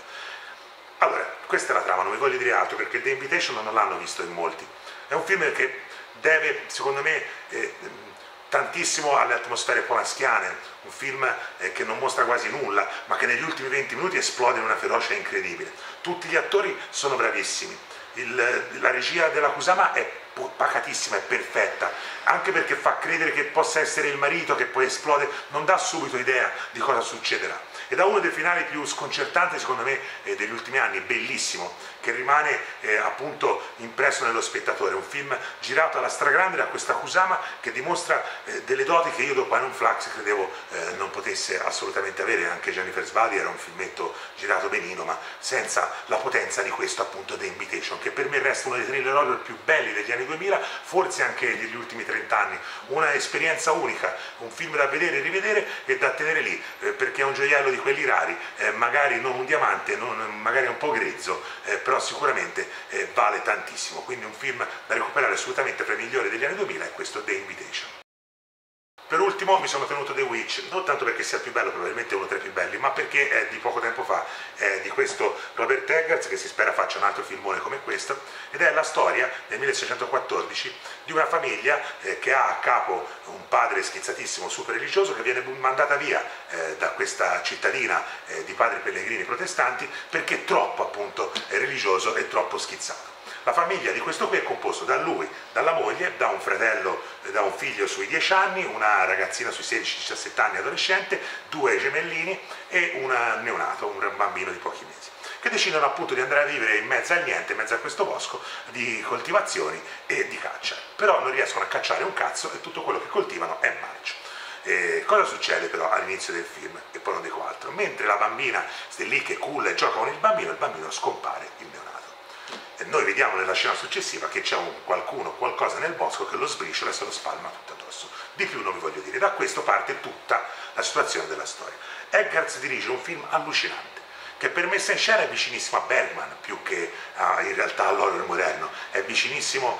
anche qui a Polanski, è vicino anche per certe scelte allo Shalaman di The Village, nonostante non ci combini un cazzo, a livello di un, due o tre riprese. Un film che vive di pochissimi movimenti di macchina e che vive di personaggi come quello del Caprone incredibili e inquietanti. Un film che inquieta anche per i rapporti eh, che si instaurano tra i personaggi, perché nessuno di questi personaggi in realtà è quello che sembra essere di prima vista. Diciamo così, eh, ognuno eh, cerca di dare la colpa, proprio la colpa eh, diciamo così, eh, religiosa all'altro eh, per cercare di liberarsi dalle proprie. Il padre che in realtà è un bugiardo cerca eh, di raccontare sempre la, veri, la, sua verità ai figli, la madre completamente impazzisce, va fuori di testa e vede il male ovunque dopo che scompare il bambino. I due bambini anche più piccoli, diciamo così, eh, vanno di fuori di testa e cercano di incolpare la ragazzina di 15-16 anni di essere lei una strega che se stessa aveva incolpato per levarsi dai coglioni due bambini che gli rompevano i coglioni per cercare di fargli paura. Quindi un film completamente astratto in questo senso, un horror dell'animo, un horror che viaggia eh, per strati, che non colpisce sicuramente eh, per il ritmo iperveloce o ipercazzuto che va di questi tempi, anzi che proprio per la sua messa in scena così bergmaniana, così pulita e così nordica riesce ad essere pregno di 2000 chiavi di lettura e sottotesti. Essendo questa una classifica non è che ne posso parlare di più, se no eh, dura 64 minuti per film il video. Ma assolutamente chiudo i migliori horror degli anni 2000 con questo The Witch di Robert Eggers del quale aspetto assolutamente il prossimo lavoro che sia un horror, una commedia non me ne frega un cazzo perché questo dimostra un talento visivo e non solo di rarissima eh, eh, qualità, non si trova così facile un giro un regista che riesce a mettere in scena un film che unisce così forma e sostanza lasciando almeno me a bocca aperta con un finale a dir poco allucinante e meraviglioso. Passiamo ai troiani. Ed iniziamo con i più, secondo me, brutti film degli anni 2000. Certo ce ne sarebbero a bizzoi, ne dovrei fare 200, però ho scelto quelli primi che mi sono venuti in mente. Il primo si intitola Adam and Evil ed è del 2004 ed di un certo eh, Andrew Vansley che si dovrebbe vergognare di aver messo in scena la storia di quattro ragazzi che vanno nel classico boschetto a fare i cazzi loro e che vengono chiaramente ammazzati uno dopo l'altro dal classico mostro di turno. Peccato che il film sia una cagata immonda, cioè la regia e la fotografia sono inesistenti, la storia è da pedate in bocca, la regia è qualcosa di inconcepibile negli anni 2000 e in più eh, gli attori sono totalmente incapaci, un film che non funziona su niente, di una noia mortale, eh, che fa schifo in tutte le sue piccole forme, e non riesce a trovare nemmeno quei 5 secondi, quel guizzo, niente, il guizzo unico che esiste nel film è quando finalmente parte regia di, non tanto perché hai scoperto chi è regista, ma perché vuol dire che il film è definitivamente finito e ce lo siamo tolti tra le palle. Allora, un altro vero troiaione del 2000 diretto dal direttore della fotografia eh, di Spielberg, di altro un grandissimo direttore di fotografia, ovvero Janse Kaminsky, è Lost Souls, la profezia. Un film allucinante. La storia è la più scema del mondo. Maya, che poi è Winona Ryder, è stata posseduta dal demonio, poi il demonio è scappato, e però eh, lavora un po' così, diciamo così, va dietro a quelli che sembrano essere in, eh, posseduti, diciamo così. E va dietro appunto a questo scrittore newyorkese che sembra essere eh, possedutissimo, anzi dal, più che da un demone qualsiasi, proprio da Satana in persona. Questa è la storia, è lei che cerca di liberare lui da questa possessione demonica. Il film è delirante, c'è una fotografia che un direttore di fotografia non si dovrebbe permettere mai nemmeno di pensare. È tutta bruciata, tutta gialla e nera, fa schifo, non c'è un minimo minimo proprio di senza dell'orrore. Ogni tre secondi parte qualcosa che diventa ehm, senza volere ironico, ci viene da ridere in una maniera incredibile, un film trash allucinante che si prende sul serissimo, anche quando poi appaiano i 666 scritti sulle radio o sull'orologi, roba eh, che, che, che, fa rimpiangere addirittura eh, l'esorcismo di Emily Rose e filmetti inutili eh, che, che, ci perseguitano da sempre. Ma questo non solo, è un film fatto con milioni, vero, un film che doveva Lost sulla profezia, che dal trailer sembrava chissà cosa fosse e che invece è risultato semplicemente un classico muffin che manco è gonfiato, una merda, una cosa immangiabile, impossibile buttare giù, uno dei film più brutti che mi sia mai capitato di vedere senza ritmo, senza sensione, senza sangue e senza nulla. L'unica cosa, come ho detto, che c'è è che almeno finisce e non ci sono stati sequel tra i coglioni. Un altro film inguardabile degli anni 2000 è Soul Survivor, diretto da questo Steven Carpenter, che di Carpenter c'ha solo l'omonimia del cognome, è la storia di questo gruppo di ragazzi che prima di andare al college a Sega Narta vanno a fare questo super rave party, al ritorno fuori di testa fanno un incidente il ragazzo della protagonista muore e, gli altri invece rimangono vivi. Solo che la protagonista inizia a avere eh, dei flash eh, del suo ragazzo, inizia a vedere lo spettro e tutto il resto e quindi vuole scoprire cosa è successo. Ora non vi sto a dire il finale perché non si dice mai nemmeno dei film brutti, ma un film sì, è roba veramente da cassare solo per l'idea di partenza, non si può guardare film delirante, dopo 5 minuti capisci già come dove va a parare, lentissimo, senza una scena che faccia paura, con una regia a dir poco televisiva, con degli attori spentissimi che sembrano che passino davanti alla macchina da presa perché hanno inciampato un sasso prima, mm, senza nessuna cura nei dettagli, un montaggio sfasatissimo, scavalcamenti di campo, un troiaio immane che si fa ricordare esclusivamente per una delle fotografie più brutte che si siano viste e soprattutto perché ha uno dei finali più idioti che l'universo eh, sia parallelo che il nostro, visto che parliamo di fantascienza horror, e riesca mai a concepire un film delirante come gli altri due che vi ho detto prima, inguardabile, che forse eh, a qualcuno sarà anche garbato, ma che per me resta veramente una spila infilata nel culo. Steven Sommer aveva già fatto dei discreti danni dirigendo il remake della mummia, però aveva buttato il remake della mummia su una cosa da Indiana Jones, e ci poteva anche stare abbastanza ironico. Nel 2004 decide di girare un film per l'Universal che si chiama Van Helsing, con Hugh Jackman che fa Van Helsing, cioè il miscasting più grosso del mondo. Lui che fa Van Helsing è un po' come se io facessi il prete prediatore o San Francesco in un film più o meno, e sarei credibile come lui. E alla storia appunto di questo Van Helsing, che è il cacciatore bomba di tutti i mostri dell'universo, troviamo un Jekyll e Hyde più squalido mai visto nella storia del cinema, un Dracula inconcepibile, un Frankenstein da seggiolate nel muto, in questo purpurri di mostri allucinanti c'è una Kate Beckinsale sempre da, da trombare perché bisogna dirlo, eh, che però fa un personaggio odioso in questa storiella appunto di questo Van che va in questo villaggino dove ci sono vampiri su vampiri, mostri che l'attaccano e tutto il resto e che lui sconfiggerà con l'aiuto appunto di Kate Beckinsale e dei suoi grandi poteri. Un film orripilante che viene fatto mangiare dagli effetti speciali al computer che fanno cagare oltretutto, che dura uno sbotto, che sembra non passare mai, dove l'azione l'azione naturalmente mangia l'orrore, ma è un'azione che nemmeno diverte, è un'azione che fa pensare, ma qui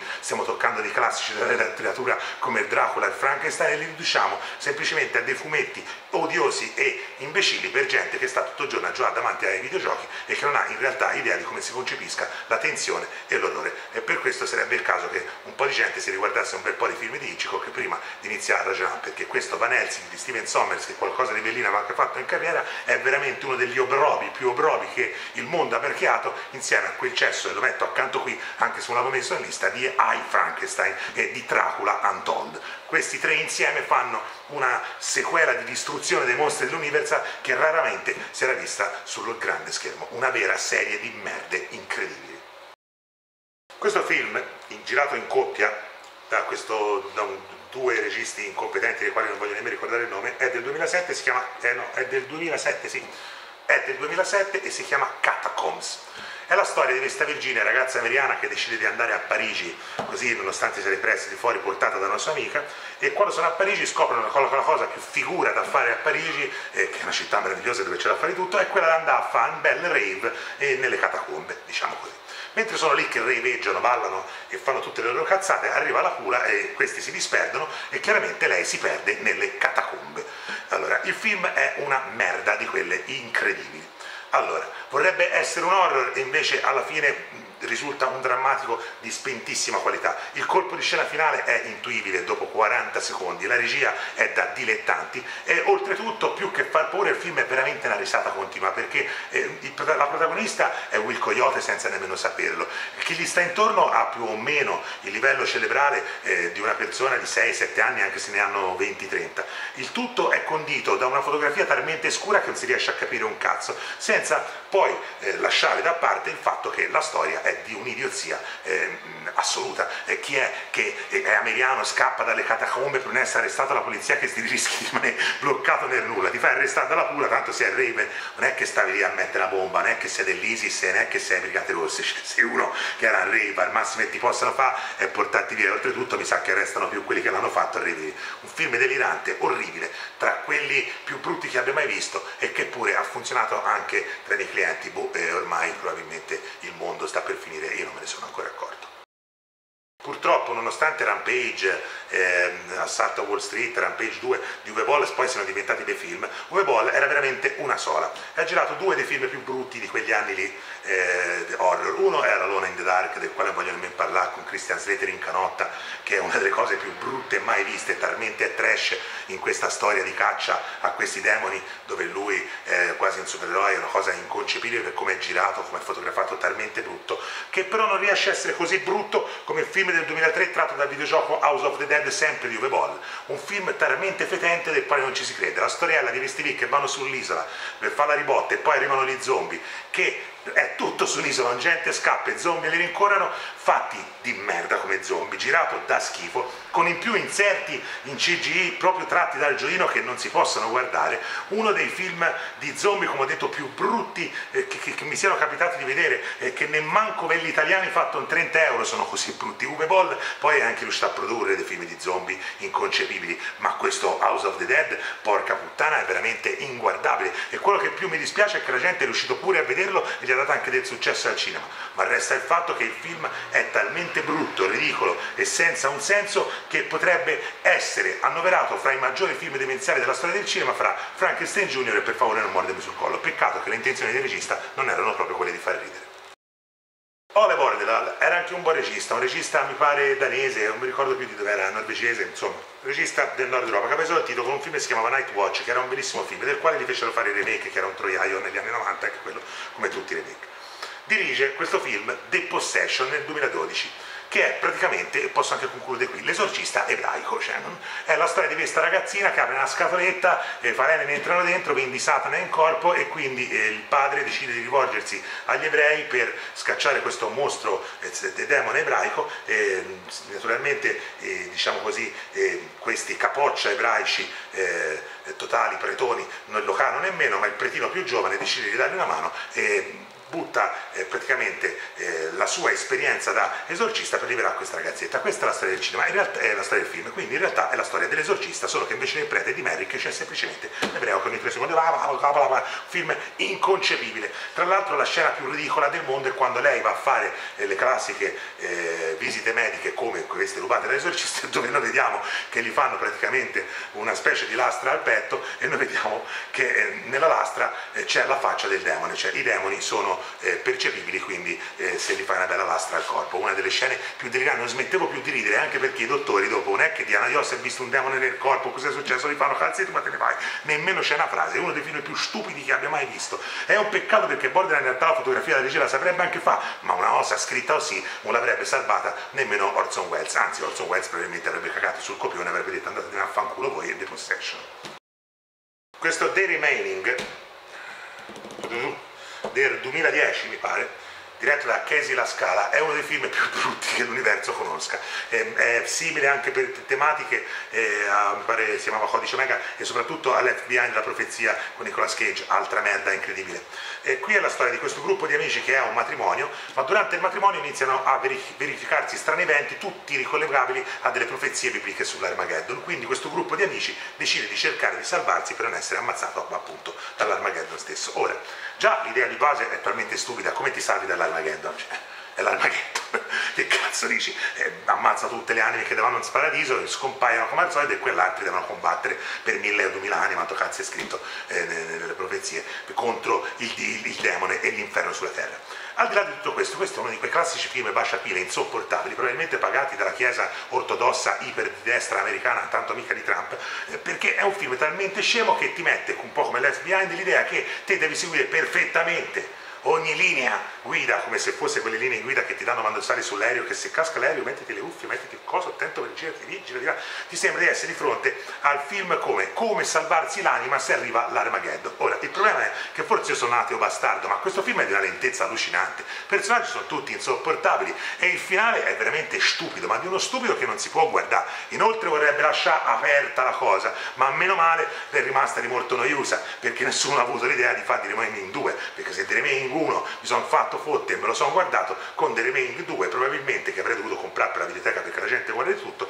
avrei trovato una volta finito di guardarlo qui in videoteca ed averlo usato un grandissimo eh, piano per tenere in bolla eh, eh, l'asta con la quale stiamo facendo eh, questa ripresa perché non vedo altro motivo di esistere di quel DVD se non quello di essere usato o come sottobicchiere o come eh, piattello per il eh, tiro eh, con l'arco oppure semplicemente per essere distrutto in quanto male puro.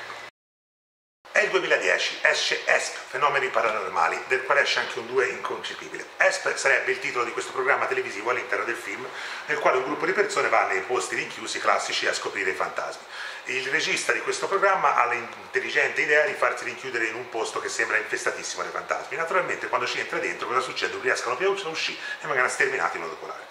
Quello che questi The Vicious Brothers, si fanno chiamare così, eh, girano, è in realtà una pacottiglia mockumentare di quelle peggiori, nelle quali ci butto dentro un po' tutto. Eh, ci va un po' di satanismo, un po' di fantasmi, un po' di quello, un po' di quell'altro. Il problema è che come al solito nei film horror che cos'è la prima cosa che deve fare un film horror? La, fare paura o lasciare perlomeno alla sua fine un senso di ehm, incompletezza umana da potersi sentire spaventati anche dal solo uscire di casa. Questo film invece riesce a spaventare anche solo all'idea di essere visto, non tanto perché fa paura, ma perché è talmente brutto che anche qui eh, cascano le braccia per come nessuno abbia detto al regista che cazzo stai a girare, ma non te ne rendi conto che questa roba lì nemmeno se la mandi sul real time la mettono in onda. E invece, incredibile, ma vero, il mondo gira al contrario e questo Espo, come ho detto, ha avuto pure un 2 e ha avuto pure successo. Ma rimane uno dei film più inguardabili del mondo, la regia fa cagare, la fotografia è inconcepibile, la macchina che rimbalza ti fa venire il giramento di coglioni dopo 5 minuti e soprattutto non se ne vuole assolutamente più di questa gente va a rinchiudersi in un posto, arriva il fantasmino e li stermina tutto. Fate qualcos'altro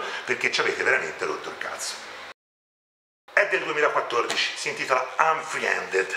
di Vesto Gabriazde il regista. È un film di merda, è un film che per tutta la sua durata è semplicemente un'inquadratura su uno schermo di computer dove degli amici parlano su Skype e poi si rendono conto che tramite appunto Skype stesso e la rete vengono eh, demonizzati da uno spettro che poi si scoprirà perché è vendicativo verso di loro e inizia a farli fuori tutto. Ora, tutti hanno detto, ma questo è Ganzo il primo film in inquadratura, non è vero un cazzo, c'era un film che si chiamava Toma in Love che era identico eh, a, negli anni 90, che era tutto basato eh, su un'inquadratura sullo schermo ma che era molto più interessante. Qui la noia regna sovrana in più, cioè messaggini, devi leggere la chat, devi fare quell'altro, sembra di essere rincoglioniti. Il film al tempo di internet, se deve essere questo, per favore cancellate il film e cancellate internet, perché non si può guardare una merda come Unfriended. Se Unfriended può essere un filmaccio, ma comunque guardabile sempre sullo solito stile dell'altro anno, questo eh, Unfriended, proprio, che vuol dire senza cancellato dalle amicizie, è proprio un film che viene unfriended da chi lo guarda, cioè quando uno lo guarda e si mette nell'idea della coscienza di guardare un'ora e venti di schermo di computer su maxi, perché è andata pure al cinema, su schermo gigantesco, avevi speso anche 10 euro per guardare uno schermo di computer, ripeto, con roba che si apre e si chiude e gente muore negli schermini di 22 cm e ti prende i brividi, ma i brividi perché? Perché c'è qualcuno che lo ha addirittura pensato e soprattutto i brividi più grossi è che c'è soprattutto un pubblico che lo ha premiato con dei buoni incassi, quindi che dire di più di una merda come Unfriended. Eh, speriamo che eh, chi ha girato questo film passi subito a fare qualcos'altro nella vita, vendere lupini, eh, c'è il, il zucchero ferrato a Luna Park, c'è la possibilità di essere mangiato da una tigre, c'è la possibilità di fare qualsiasi cosa nella vita, ma vi prego questi vicious brother teneteli lontani da macchine da presa perché sono l'Ebola.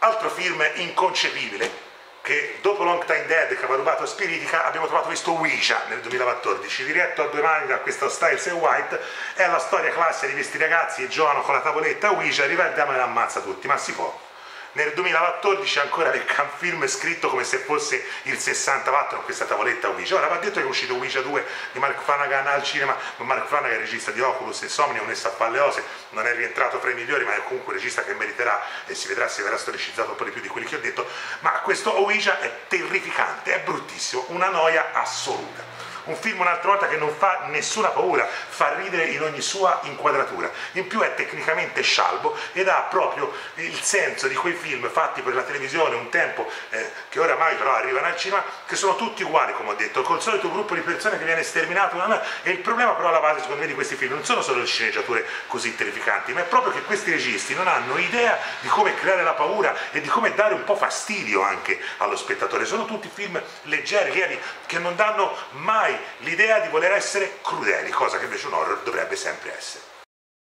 Allora metto lui come remake e un altro ma varrebbe un po' per quasi tutti i remake dell'orrore che fanno tutti qua ma il Nightmare del 2010 di Samuel Bayer è roba da vergognarsi. Ora primo perché Nightmare di Wes Craven era un vero capolavoro aveva creato Freddy Krueger che dopo i mostri classici è forse l'unico vero Bau, eh, Bau Bau come si dice l'unico vero uomo nero che aveva davvero fatto eh, dopo Michael Myers diciamo così eh, ben più di Jason. Era un fi- era, avevano creato questo personaggio fantastico, crudelissimo, ironico, eh, che in questo nuovo riadattamento è banalizzato ed è ridotto al solito coglione che parla addirittura così ustionato che non capisce un cazzo poi ha gli artigli tanto per di. Il film quindi è veramente un remake di merda, come quasi tutti i remake, ma questo è scritto da, da culo partendo da una base incredibile, poi c'era 200 sequel, poteva attaccarsi a qualcosa, invece niente, si sono semplicemente attaccati all'ideina base, cercano di copiare le solite scene, ma assolutamente un incapace, non c'è tensione, non c'è assolutamente spavento e soprattutto, per favore, non tocchiamo così i classici come nulla fosse, perché Nightmare è un vero capolavoro del cinema e non andava ridotto a questa poltiglia di merda che mi ha toccato sorbirmi proprio perché io, come si dice, di horror mi sorbisco sempre tutto. Ma qui di horror non c'è nulla, l'unica cosa che fa veramente spavento sono i produttori che hanno dato pure Vaini a questo inconcepibile regista per fare questo remake idiota e inguardabile. Altro film del 2012 che bisognerebbe cancellare da, proprio dalla mente, da quanto è brutto, è Chernobyl Diaries, che è la storia di questi coglioni che decidono di partire e andare a fare la gitarella a Chernobyl. Ora già mi devi dire quanta gente voglia andare a fare una bella gitarella dove a Chernobyl che è scoppiata una, centrale nucleare. Il, il, secondo motivo per cui mi sta anche sul cazzo è che comunque si sta parlando di una storia vera di qualcosa di, di una delle disgrazie per l'umanità più grosse del mondo e qui si butta sull'horror come nulla fosse. In più il film è girato per un'ora tutto in macchina, non succede un cazzo. L'unica cosa che fa veramente terrore è lo sciacallaggio dei produttori che prendono una storia vera e ci imbastiscono un horror terrificante e demenziale tanto per garbare ragazzini, un'altra volta mezzo documentario da telecamere rimbalza da tutte le parti, recitato da schifo, diretto peggio e che non ha alcun senso di esistere, manco come poster, doveva essere proprio cancellata all'idea, ma anche questo incredibilmente ha incassato, quindi probabilmente tutta la merda è visto a D, sono tutti i film che vi staranno a garbare. Per me questo resta uno degli esperimenti peggio riusciti dell'horror moderno e non solo, una cosa indegna del genere. Brent Bell è quel regista che aveva fatto Stay Live, una zotta inguardabile, ma visto che ci sono ho deciso di metterci questo filmaccio del 2012 che è l'altra faccia del diavolo, ennesimo documentario con il diavolo, non se ne vuole più. È la storia di questa ragazza che viene a Roma alla ricerca di questo spettro che dovrebbe essere impossessato dentro la mamma da 30 anni di giù che tira fuori così c'è la cucina rovesciata, tutto via il film film di merda, film mal girato, mal scritto, mal interpretato e senza una scena una che dia un minimo di inquietudine. Questa, a differenza di, anche di Stay Alive del solito regista che magari in pariscena la beccate, fa proprio ca dall'inizio alla fine, perché se si pensa di scrivere una sceneggiatura nella quale un demone non può abbandonare il corpo di una persona e poi come arriva questa villa abbandona 25 volte in 5 minuti, è un film che già un torna anche casino, non ci capisce in cazzo. Il demone incorporeo che non può cambiare corpo, come arriva il nostro protagonista, cambia corpo, e sì, perché no? Scriviamolo col buco del culo il film, tanto ormai la gente i film li guarda con le cuffie nelle orecchie, Facebook attaccato alla mano e dall'altra parte Whatsapp, quindi che dire, questa roba qui che è l'altra faccia del diavolo, non mi voglio nemmeno spendere di più a parlarne perché è una vera monnezza, la monnezza di solito si prende e si mette nella spazzatura e nel, sacco, nel cassonetto della spazzatura e ci se ne dimentica. E questo è quello che voglio fare io al più presto con questo film di merda. Michael J. Gallagher ha il bel gusto di girare un altro film che è anche lì attaccato a internet, tutto il resto che si chiama Smiley del 2012 che dovrebbe essere uno slasher con questo La maschera assassina e invece di essere uno slasher si risolve in uno dei film più deficienti che l'essere umano abbia mai deciso di creare perché eh, non ve lo voglio raccontare tutto perché è talmente scemo e idiota che lo dovreste vedere dicevo è talmente brutto e delirante che non ci si crede, eh, non spaventa assolutamente. L'unica cosa che mi aveva interessato, me lo puppai al cinema poi inculato e presi, è che c'era la maschera Smiley, era molto carina. Peccato che il classico film di redenzione e morte con questi che fanno lo scherzo, forse fanno lo scherzo, la gente muore, forse muore, eh, non torni per un minuto, che tutto sia talmente scritto col buco del culo che ormai ci siamo dimenticati, assolutamente, di come si riesce a scrivere una sceneggiatura che abbia perlomeno un minimo di senso. Si sa che nell'horror eh, ci si può sbizzarrire incazzati, tanto è un film dell'orrore errore si può, ma qui siamo non davanti a una cazzata, siamo davanti a una vagonata di cazzate e davanti a una vagonata di cazzate nessuno può non pensare ma chi me l'ha fatto fare di vedere sto cesso di film. Si parla di remake, di non aprite quella porta, ne hanno fatti 27 remake negli anni 2000. Ho preso a debito l'ultimo, quello che si chiama Non aprire quella porta 3D di questo John Lusserup del 2013, ho preso questo perché era l'ultimo. Ed è l'ennesima eh, distruzione del mito di Leatherface creato dal grandissimo Tom Hooper. Perché se il film di, eh, degli anni 70 e del grandissimo Hooper era volutamente naif, girato con una telecamera sporchissima che entrava nell'iride dei personaggi, che faceva capire la violenza anche subita da Leatherface e che voleva avere dei sottotesti enormi come il vegetarianesimo, l'eccessivo consumismo americano e tutto il resto, questo invece è ridotto a un classico cazzone del quale fanno addirittura vedere la faccia, cosa che non si dovrebbe mai fare, che si mette le facce del latte che, lo dico, alla fine diventa pure buono. Pure buono, ma si sta scherzando. Questo vi ha girato una delle peggio merde che si siano viste al mondo. Un remake insostenibile che in mezzo al mare dei remake eh, Mm, diciamo così, eh, viene eh, innalzato tra i peggiori proprio perché Leatherface non è mai riuscito ad essere sta, eh, remechizzato in maniera eh, decente, neanche nei sequel. Eh, solo Tom Hooper nel 2 l'ha buttata quasi in burla pur pigiando tantissimo eh, sulla sua creatura e rendola un po' più umana, ma qui siamo di fronte veramente a gente che è incapace di fare il proprio lavoro. Io capisco che come in Italia lavorano tre cugini, biscugini, nonni e leccaulo, ma questi leccaulo perlomeno sceglieteli che abbiano delle qualità. Ci saranno delle caule che stanno girare film, ecco, sceglieteli magari buoni questi leccaule, perché se scegliete le caule e fanno fare questi film vi prodotti da Michael Bay e Misper, siamo tutti di nuovo eh, a capo, appunto a capo, cioè l'horror eh, muore in una degenerazione totale di remake inutili e squalidi, appunto come questo, non aprite quella porta 3D, che è la somma della schifezza.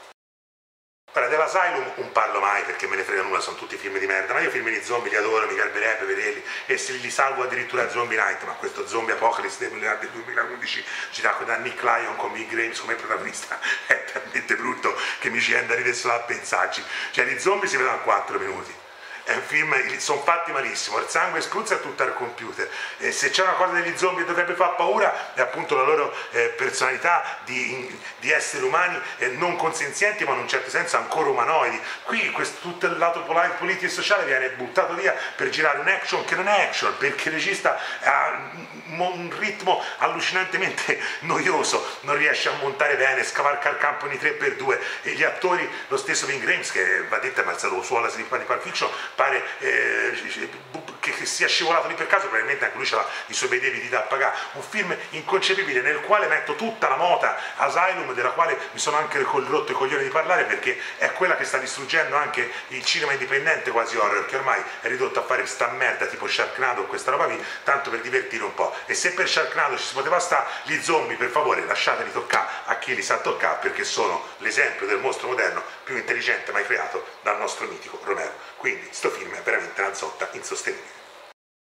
Altro POV, altra corsa, altro documentario di merda, It Colors, l'esecuzione del 2015 mi pare, anche lì girato in coppia da due registi, eh, Thomas, me l'ho scritto perché mi sono bene ricordato, Thomas Cliff e Chris Loffing che, Loffing, che hanno girato questo It The Gallows, appunto l'esecuzione, è la storia inconcepibile di un gruppo di ragazzi che va a cercare di dare fo alla palestra de, de, della loro scuola per non andare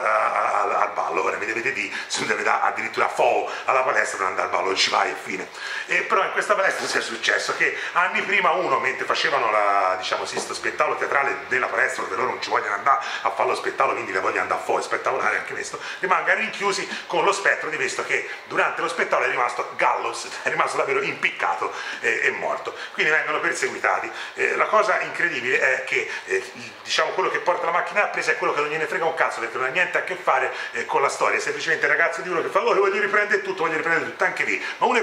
baffanato Mandalio ma ci va con la macchina appesa, così c'è le prove. Chi è stata a bruciare? Boh, c'è la macchina appesa, c'è una videocassetta, l'abbiamo trovata. Cioè, proprio l'idiozia completa del cinema. Un film inconcepibile che va di diritto fra i peggiori del 2000, ma di diritto di diritto e che si porta eh, dietro un altro film di merda che, del quale mi dispiace anche parlare male, perché il film si intitola Six Tape ed è anche lì la storia, naturalmente anche questo è un documentari, di una che col suo uomo vanno eh, dentro questo ospedale, eh, vengono chiaramente presi dalla solita entità, lei lei e che ci riporta anche degli altri amici inizia a fare fuori un po' tutti, lei è buonissima, ma quello che dispiace veramente è che il regista di questa monnezza è Bernard Rose, ovvero il regista di Candyman, ridotto, e Diana Karenina, ridotto a girare sta schifezza probabilmente per pigliare Dubaini che non si può guardare da nessun punto di vista. Aveva detto che Bernard Rose perlomeno si era preso con il Frankenstein particolare che ha girato ultimamente, eh, che poi mette metterò nei consigli di là del mio canale, eh, girando un film indipendente finalmente interessante, ma questo sex tape è roba veramente da vergognarsi solo a pensarci, quindi ennesima cagata, ennesimo documentario finto, ennesimo film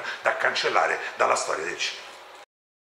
Chiudo con uno dei film più brutti che l'umanità abbia mai visto, horror o no. È del 2010. Gli americani avevano comprato i diritti di Dylan Dog per fare il film da 30 anni, praticamente. E cosa sono riusciti a fare questo Kevin Murro, che era il regista di Tartarughe Ninja a cartoni animati, ma come si fa a Dan horror in mano al regista di Tartarughe Ninja a cartoni animati? Vabbè, come si, da, come si fa a fare un film sulle Tartarughe Ninja, ancora mi chiedo, ma al di là di questo, questo Dylan Dog, il film del 2010, questo Kevin Murro, è terribile. Allora, di Dylan Dog non c'è niente, al di là che posso passare sopra, che non è eh, a Londra ma a New Orleans che non c'è Groucho ma c'è uno zombie, eh, che non c'è l'ispettore ma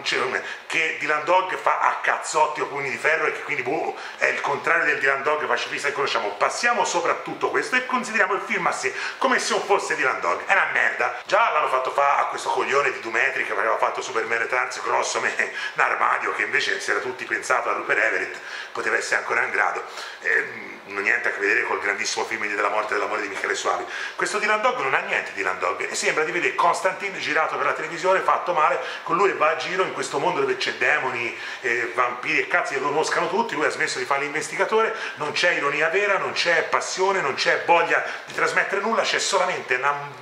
cozzaglia di schifezze che fa sembrare Buffy l'ammazza vampiro un, serial televisivo talmente bello da poter essere proiettato in tutte le scuole di cinema. Tale è la bruttura di questo Dylan Dog il film. Forse il film degli anni 2000 horror più brutto che mi sia mai capitato di vedere o sicuramente la delusione più grande che eh, mi sia capitato di vedere. E con questo concludo la lista anche dei peggiori